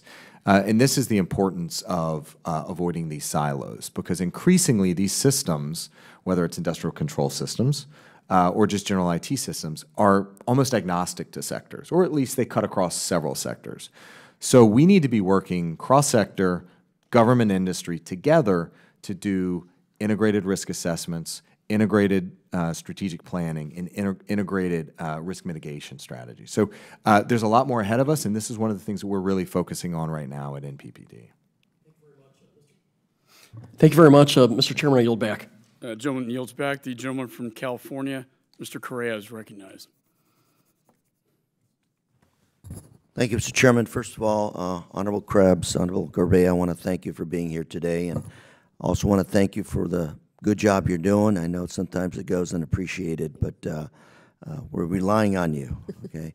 I wanted to follow up. Uh, you know, in this committee, we talk about best practices when it comes to cybersecurity, financial institutions. I would presume that right now across the 50 states we have some kind of semblance of coordination where those best practices are being applied at every one of those 50 states when it comes to uh, the elections? Yes, sir. Through the Election Infrastructure uh, Information Sharing and Analysis Center, it's basically to kind of unpack what that means. Is it is a it's a group of all 50 states, including other uh, election officials, that are connected in a manner that if if one has a best practice or an observation they want to share, then all 50 or all uh, almost what about 1,000. In a situation where we've had recently that you have a cyber attack on financial institutions within nanoseconds everybody's on top of it so that people figure out that there's actually an attack going on and, and people can respond to Let it me let me actually give you a practical example from the election community. Yes, sir. Uh, a few months ago, there was a phishing attack, uh, not necessarily attributed to a nation state, but a phishing attack on a state election system. Uh, what happened is that that state detected the phishing attack, worked with DHS, and then we were able to share indicators across the ISAC. Now, did this happen in a matter of seconds or even minutes? No. But what we gain through this approach of community or collective defense is broader uh, community. will you be able to get there eventually i know there's a lot of issues costs software hardware will you be able to get to that level when you have an attack you're able to respond almost immediately I think ultimately that is our aspiration, of course. And, and I asked that question uh, following up Ms. McSally's point, which is trust. I'm from the state of California. We're like Arizona. We mistrust the federal government, but we try to work with the federal government. And, and yet, really, in these elections, it, the issue is trust. Mm-hmm. If you wake up Wednesday morning and somebody fried your software system and there's questions of the validity of those election results, we're going to have major challenges to our democracy in this country. And you know, I'm trying to, in my mind, trying to figure out what can we do to help you to make sure that that's not a reality one of these Wednesday mornings. So, so if I may, from the Yes. state level, um, so I think it's it's this risk mitigation, right? We can't just rely on we're going to put a wall around our systems and that's going to protect us from everything. And that comes back to the issue of ultimately, you come back to paper ballots as Paper being ballots are absolutely critical, in my opinion. Uh, people ask me all the time, "Do you think online voting, uh, you know, should happen?" And I'm like, "No, not really," because I, for one, even though despite And most of the folks I know that show up to in California to vote actually vote electronically. so I know that California is a very large state with many different uh, systems. I know that Yes, Secretary yes. Padilla has been doing a fantastic job. I'll let them know you said that. Um, but going back to, I mean, but we talked about provisional ballots, for example, right? So say something happens and you show up and your name's not on the voter registry.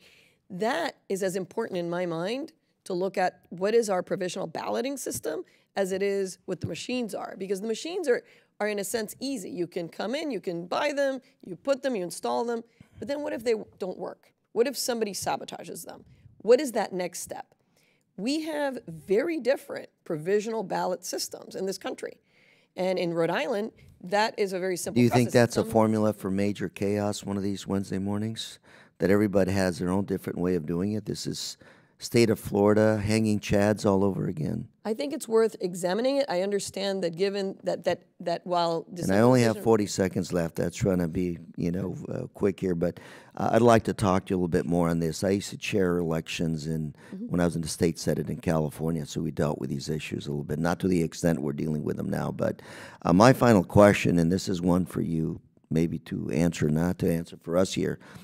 At what point does a foreign nation's interference in our electoral system constitute a declaration of war in our country? I think, uh, I think that is the right policy question that we need to have right now. Uh, I don't have an answer for you. I agree. I think that is one of the critical questions we need to ask. Thank you very much, Mr. Chair. I yield. The gentleman yields, I- and I appreciate that question. We've been trying to define that for quite some time, what is an act of cyber warfare? And uh, I I appreciate you raising that. Uh, The gentleman from New York, Mr. Donovan, And I am your last uh, questioner. Um, at least on this side. Yes, uh, the, the title of the, of the hearing was DHS's Progress in Securing Election Systems and Other Critical Infrastructure. I'd just like to ask about the other critical infrastructure for a moment, since you're both here. And uh, Secretary Gorbea, you, you, you said before in your opening statement about balancing our needs for secrecy with our need for transparency. Very difficult thing to do. Um, Mr. Krebs, during you know some of the other attacks that we've seen on our healthcare systems, our dams, our oil and natural gas systems, the cyber attacks on on our energy um, industries, how do we balance that need for secrecy and transparency, and how do we as a, a government share vulnerabilities with private industry. We all have this same common goal here is to pr- protect our energy system, our electrical grids. Um, but then again, there's a, a difficulty, I suspect, with, um, with industry, particularly those who have competitors, of revealing that they're vulnerable. Um, they don't want to lose the confidence of their clients or their, their, their, um, their users. So how do, how do we balance that stuff? I know it's not an easy question, there's not an easy answer for that, but since I'm the last one on this side of the aisle, um, we'll throw you a hardball. That's a that's a great question. Uh, the way I kind of break this up right now, at least, is to look at opportunistic attacks and then more strategic adversary attacks. So when you think about what happened last summer or last fall with WannaCry, the U.S. was generally not um, terribly affected, unlike some of our European counterparts. And look at what happened in Russia and elsewhere.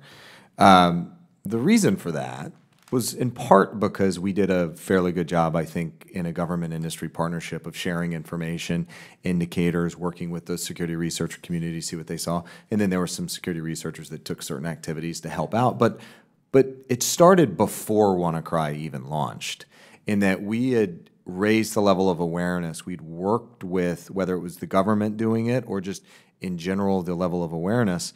Um, people had done the, the right cyber hygiene basics to protect their systems. They had patched their operating systems, they had patched their software so that the majority of the vulnerabilities had been closed out. So, from an opportunistic perspective, I think we're we are certainly making progress. We're improving now.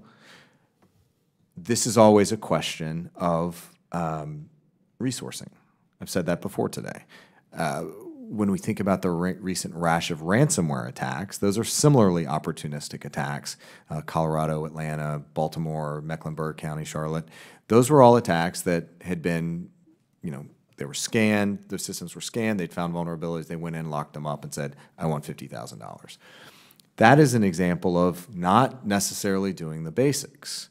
Uh, so we are really stressing to prevent opportunistic attacks, which is generally speaking about 85% of the, this, these are, you know, soft numbers, not empirically based, but good enough to go by for the purposes of this discussion of you do the basics right and you can drive most of the bad actors out of the space the, the general uh, hackers. Now, from a strategic perspective, we do know, as, as I talked with uh, Congressman Bacon earlier, we do know that the uh, adversary is getting better, particularly in our hard infrastructure space. We, they, we saw them last summer. We released a report earlier this year, uh, along with the FBI, on uh, Russian activity in infrastructure. We saw them in energy, critical manufacturing, transportation, aviation. We're currently seeing them principally in the information technology side, the IT side. Now, the problem is once they get more uh, comf more comfortable operating in the operational technology side.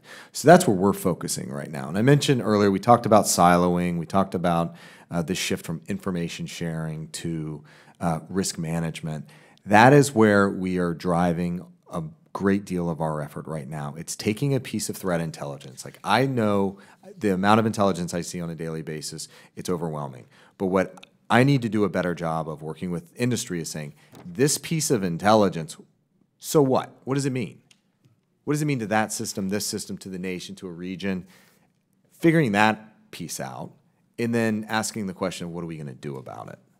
That is principally where we're focused, and we're kicking off a new initiative within NPPD, the National Risk Management Initiative, that is really going to focus in on moving beyond intelligence and into risk management of understanding what the problem is, how to address it, and doing it in a cross-sector government industry partnership manner. And I think that's where we're going to make the most significant uh, gain.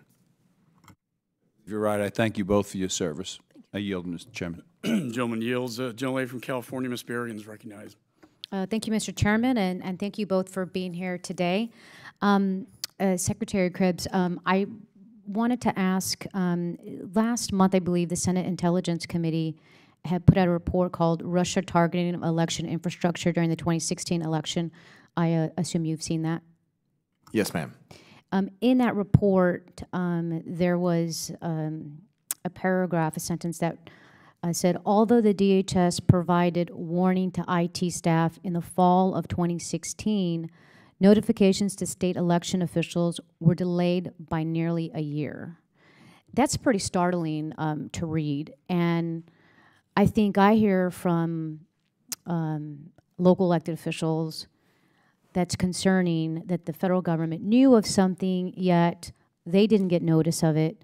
And I think I even read about North Carolina having problems on election day and them having no idea um, about the possible uh, breaches and concerns that were happening. What are you doing to make sure that doesn't happen again? So on the top end, we have established a series of information sharing protocols working with the Government Coordinating Council uh, to say, hey, when we get something or we see something, these are the five officials in each state and the system owner mm -hmm. that we would that we would notify. Secretary Gorbea mentioned it earlier. You know, a year ago, or even be, be, before that, they were trying to figure out the cybersecurity side of it. DHS was trying to figure out the election side of it. We're past that. We've really committed to working together. We've built partnerships. We've established trust, and we're really getting to that point of understanding what they need from us, and we're reacting accordingly. So I have great confidence that if we did see something, that I would know exactly who to go to in each state uh, to share that information. And We will not be in a position like we were in 2016 when, frankly, we were in kind of uncharted territory, for us at the time at least. So are you suggesting that the then undersecretary didn't know who to call at these, um, in these states? there, there was no, uh, there was no election infrastructure subsector. So these relationships were not established at the time. Uh, so my predecessor, pre predecessor, who I've spoken with about this, mm. uh, they what they did was follow uh, a traditional in, uh, incident response uh, protocol. they they notified the state or the asset owner, which may have been a county or may have been a private sector owner operator, and that is that's the playbook. Going through the process now, we understand that this is a unique community. This is a unique subsector, and what works in other sectors doesn't work here. And we've changed our protocols accordingly. Um, and is, D is DHS in a position to detect if there's such meddling happening in all of the 50 states? In other words, does DHS have any visibility into whether relevant state systems are being targeted? So since, um, frankly, February of this year, we have quadrupled our insight into uh, state activities. We, we have an uh, intrusion detection system that's called Albert. It's similar to a system the federal government uses that uh, we have deployed out. Now, I mentioned 21 states earlier.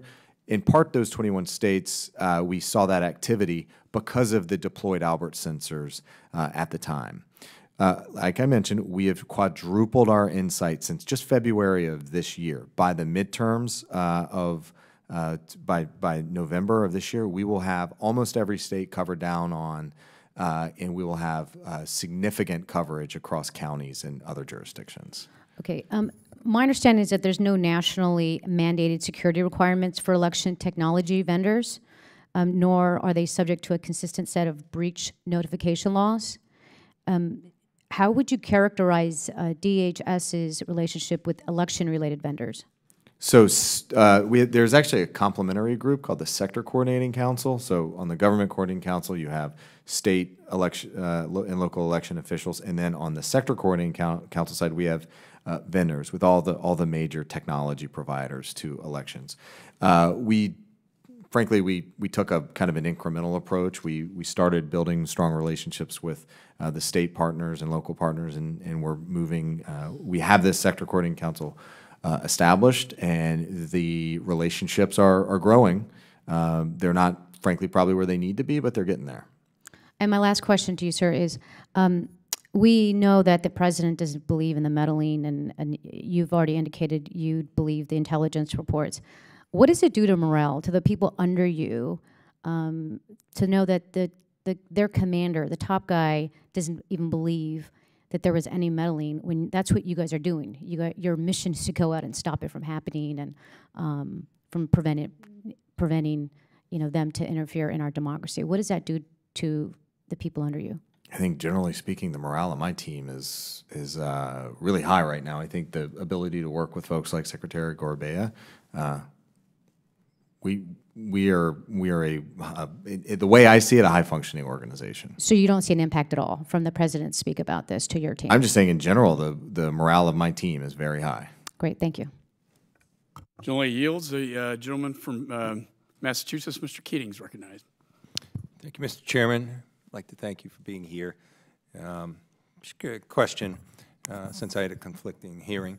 Uh, But what's the attitude, uh, range of attitude among uh, local and state officials uh, when you're uh, saying, we're here to give you some help? Some of them say, don't worry, I have it covered, I'm confident, our system is, is fine. Is that something you hear? Uh, every state is a different experience. No, but have you heard that? That's what I asked. I have heard some states say we have we are resourced. Uh, I've been told rather that some states have said we have the resources, the capabilities. Are you just waiting to, re- uh, do you, have you reached out to all the sto- st- We've state and local engaged every single Okay, state. so you've heard back from those officials, or you? Yes, sir. So some, some of them just feel confident, no problem, got it covered? Some st- every state is working with DHS in some capacity. Well, I know that. I just asked what your experience was. I mean, it's not a tough question. It's just, are you getting back feedback? Don't worry, I'm confident. I've got it covered from those officials. I yes, sir. I think some states feel that they have uh, they're adequately resourced or uh, adequately supported. Others, uh, like insurance policies, and even though they may have things covered, they'll still uh, take some Do of our do you think that uh, uh, we're going to be attacked in four months by Russia? Uh, sir, I don't have any information or evidence to suggest they're going to attack You- us, you- but we don't need You that. You share I- information with our intelligence officials then? they share with me. Yes, Well, sir. I'm not a They believe we're going to be attacked. So you don't Uh, have I- an opinion? So I, I based on don't think your I've discussions seen with them? that uh, assessment that they're going to attack our election. That the you know You haven't heard that? Gorbea. From our intelligence officials? US Uh, intel- You haven't heard that one? I have, and I, you know, I, maybe I need to go back and review, I but think so. I think I that think, our sir, I think what they've officials are said is saying that yes, they're is gonna they- do it again. I think what they Meaning Russia. Yes, sir. Russia. I think they uh, Russia is engaging in information operations, uh, whether it's focused Well, on elections or not. maybe I'm wrong. Our No, I- no, I- sir, saying I'm not suggesting They're going to do it again. You don't believe they're going to do it again? Uh, I wouldn't don't put agree with our intelligence I wouldn't officials? put anything past the Russians. I'm, I'm not disagreeing with any intelligence. I'm just what I'm saying is I'm just saying, don't you agree with our intelligence I- people that are saying? yes, sir. I wow, agree that with our intelligence community. Sorry about that, but uh, are we sufficiently ready for this attack? Can you- What kind of guarantee can you give us that we're up to the task? Uh, I have confidence in the resilience of the system. I have, I think, some of the controlling measures that we have in place, whether it's provisional ballots, as we discussed, or some of the other compensating controls. I think, uh, you know, is is it 100% Can you guarantee secure? it? No. Of course not. No. And it's likely that there could be some difficulty. It's in the realm of possibility, correct? Sir, I, I, you know, I'm paid to be paranoid. I plan for bad days, and uh, that's what we're working towards. Yeah, well, uh, have you reached out uh, as a rule and communicated the fact that it's likely we're going to be attacked now that you know that, uh, and, and that will we, in fact, will be attacked? And number two, that despite the great efforts at mitigating this, that can't cover that, uh, have you reached out to all our officials and said, uh, we believe strongly you should move to paper ballots? Uh, it is a baseline recommendation of the department, uh, working with the GCC and others, that, yeah, uh, paper trails, verifiable, auditable paper trails are a best practice, period. Yeah, uh, Secretary uh, Gorbea, wh- where are you with your colleagues uh, nationwide? What are you hearing back? I mean, to me, this is a strong statement that should come from, despite our efforts, uh, you know, our best efforts at trying to mitigate this, that there should be paper ballots. I I mean, that's that's the what we should be doing, frankly. I I wholeheartedly agree, and I give a lot of credit to Congressman Langevin uh, for when he was a Secretary of State, he started us on this paper ballot process uh, for with optical scan readers. And when I came into office, tho- those that equipment was uh, outdated, and we replaced it with similar, because there should always be something that you can touch and feel that you and I can look at and say, this is how the voter wanted to go. Particularly provisional ballots, because if they do get in the infrastructure and they can manipulate data, those provisional ballots are going to be critical. That's right, but that's where looking at the system, the various systems and rules around provisional ballots are really important, because in Rhode Island, those provisional ballots are reviewed by election officials. Has our government, uh, U.S. government, federal government, uh, communicated to all election officials sufficiently, in your opinion, that there will be an attack, that there are efforts to mitigate it, but you can't, no guarantees there they can be successful? You should move to paper ballots. Has it been that strong a message, or is it just a recommendation? I, I, I think we are all in this space very concerned about making sure that we mitigate the risk. We don't need necessarily the federal government to tell us this because we see it everywhere. And so I think all states are taking measures. How many states are moving to paper ballots? It's four months away. I don't have the answer to that, but the National Association of Secretaries of State You might be able to Secretary provide that. So I know that five states right now are exclusively on non-paper ballot systems. Of those five, four are in the RFP process. Uh, One is, you know, waiting for money, frankly. So it's pretty prevalent that it's going to be paper ballots. That's reassuring. It- it- So uh, I think on the balance, uh, there are paper ballots, but there, but there are still systems out there that do not have paper ballots. again? Uh, Off the top of my head, I don't have percentages. I'd but- suggest that's something we should know. And, and that would be. So happy to. You could do that. Yes, sir, happy to circle back with, the- and work with the Election would Assistance helpful. Commission and the I Secretary. realize your limitations. Uh, I appreciate your testimony and your, and your good work. Uh, As a last comment, uh, dealing with the Russians, uh, our intelligence said they're doing it again. We have to have deterrence as well as a rope-a-dope approach where we're just doing our best to mitigate it. I hope that's done. I know it's not in your specific purview, it's certainly not yours at the state level, but in the interim, uh, I think we should give the strongest message, message possible for paper ballots. That'll deter them i- i- in the actual infrastructure uh, apparatus attempts uh, to get into our system. A- And on a larger scale, I believe very strongly that the sanctions and the deterrence that we have at the upper levels uh, are critical. So uh, thank you for your work. I yield back. Gentleman yields. The gentlelady from um, Texas, Ms. Jackson Lee, is recognized. Let me thank the chairman and ranking member for holding uh, this hearing, uh, and uh, to the witnesses, uh, let me thank you as well. Uh, Committee business uh, in uh, judiciary uh, proceeding on issues that dealt with the 2016 election delayed me, but uh, this is an important hearing, and I want to follow the line of reasoning of uh, my, uh, my colleague, Mr. Keating, and maybe in a different perspective. To both of you, let me thank you for the service that you give. But I believe that um, this will be um, a federal election uh, in a large way. Uh, the Congress will be up for reelection, uh, the House in totality, the Senate partially.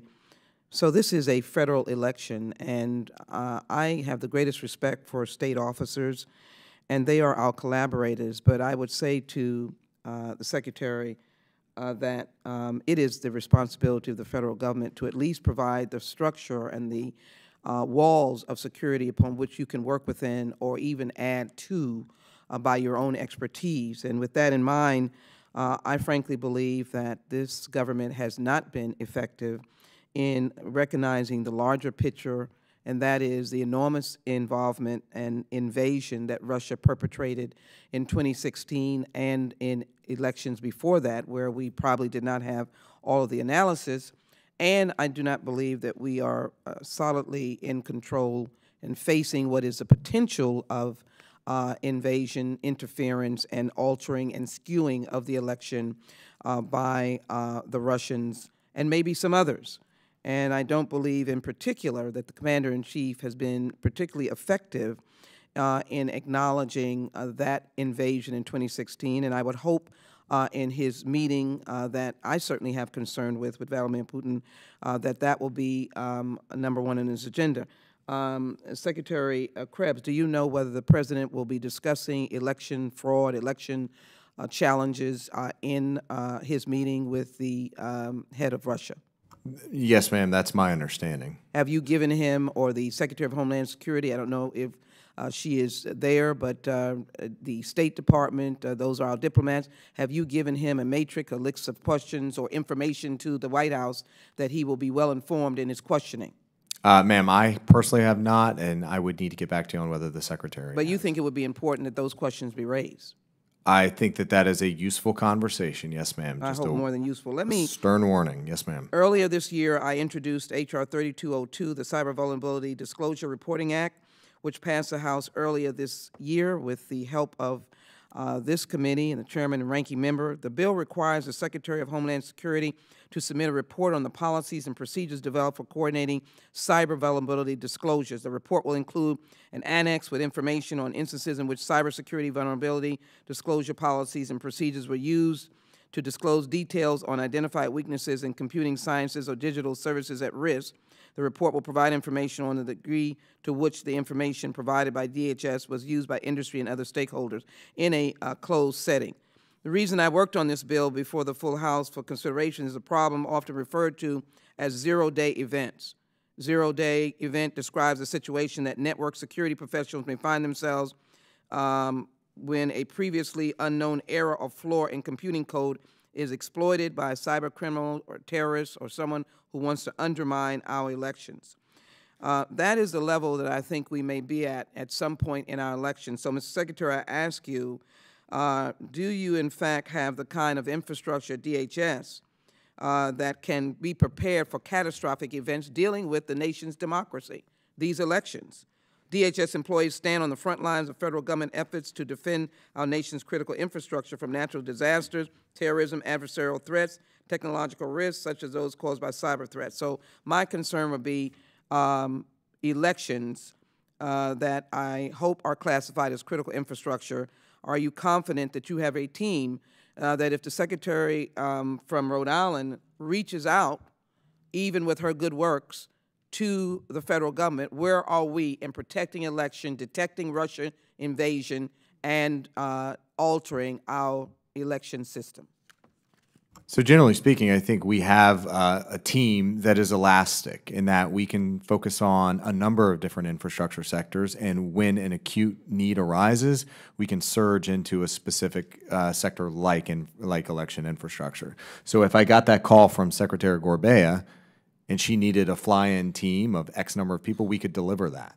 Um, with more, though, I can of course do more, and so we are taking a look at what the threat picture looks like, what our ability to manage risk across the country is, and uh, the the demand signal from our stakeholders. All of our engagements are voluntary in this space, so I have to have a requirement set. I have to have a demand signal. If Secretary Gorbea needs something, and if I get 49 other secretaries that say they need something, that compounds into a very clear demand. So, do we need to write legislation to give you requirements? Of uh, indicia that says this is when you shoot into a state that is impacted by what they think is a cyber threat in their elections. uh, and you need to dispatch. Are you voluntarily sending staff there, I- or you have legislative authority? I think as a, I have legislative authority to send folks uh, on incident response capabilities. That was And already been provided. And Uh, resources? So it depends on the level of the incident. You know, we don't have uh, a thousand people sitting on a bench waiting for a phone call. Uh, we have folks that are providing incident response capabilities. They're providing hunt capabilities, uh, uh, risk and vulnerability assessments.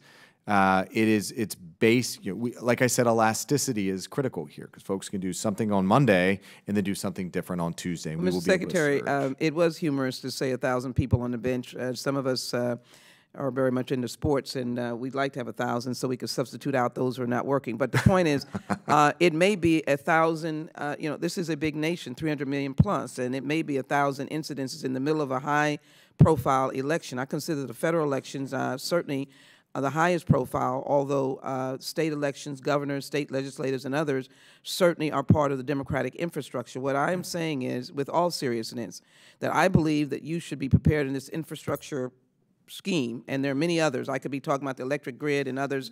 I don't have the time to do so, but I want to focus because I don't believe that the administration, and you're next part of it, I'm not saying your direct office, has given this the attention and the sensitivity and seriousness that I frankly believe um, puts you in the seat, along with the Secretary of Homeland Security, to get those thousand people on the bench, and if they're needed from sea to signing she, signing she, see that we're able to protect the election uh, of the voters of the American people. That's that's what I'm trying to hear from you. Yes, ma'am. I, I understand your concern. I, I'll tell you this much, and, and hopefully the experience is validated by Secretary Gorbea, but I spend 40 to 50% of my time right now almost exclusively on elections. There is no way I could take this any more seriously than I do, and my team sees that. We have capabilities across this organization that are able to surge into the space. So when we think about midterms, when we think about November, there are protective security advisors distributed across this country, 130 or 40 of them. I've got cybersecurity advisors distributed across this country. On any given day, they're working across the 16 sectors. In November, they will be focused on election infrastructure. That's just that group. I have other folks in DC that will be focusing on elections. So we are able to surge into the space. That said, I can always do more uh, with more, I can always do more. So we are continuing to work with our stakeholders to understand what it is they need from us, and then that refines our resource requirements. I, in, I thank you, Mr. Chairman. I'm yielding back. I'd ask the Secretary to think of an SOS number uh, that could be given out as we move toward elections. If I'm out in the field and somebody says I'm totally collapsed and my local people can't find out why they're collapsed or what's going on, or whether we should move to provisional, it would be helpful to have that one SOS number. uh, with that, uh, Mr. Mr. Secretary, you take that under advisement or be able to say yes? Yes, ma'am. All right. Thank you very much. I yield back. Thank NLA you. yields. Um, I want to thank, does the ranking member have any closing? I'd like to thank our witnesses for being here today. I just want to conclude with a, a, a short um, personal experience. Over 20 years ago, I was a federal prosecutor at Main Justice, and I uh, prosecuted a guy named Johnny Chung who led us to the director of uh, uh, Chinese intelligence, um, who was acting on behalf of China Aerospace because he liked the uh, then President Clinton's position on uh, technology transfers.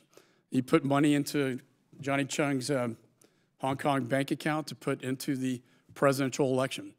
So my point is, this is nothing new. Uh, foreign adversaries influencing our elections and presidential elections, I think has been going on for quite some time. I think now uh, they have found a new tool uh, to use and manipulate to do that, and that's the internet and cyberspace. Um, so with that, I want to thank both of you uh, for your strong leadership on this issue. We take this very seriously in the Congress uh, on both sides of the aisle as we enter into the midterm elections. Uh, and if there's anything this committee can do to help you uh, in your efforts, please let us know. Members may have additional questions they may submit in writing.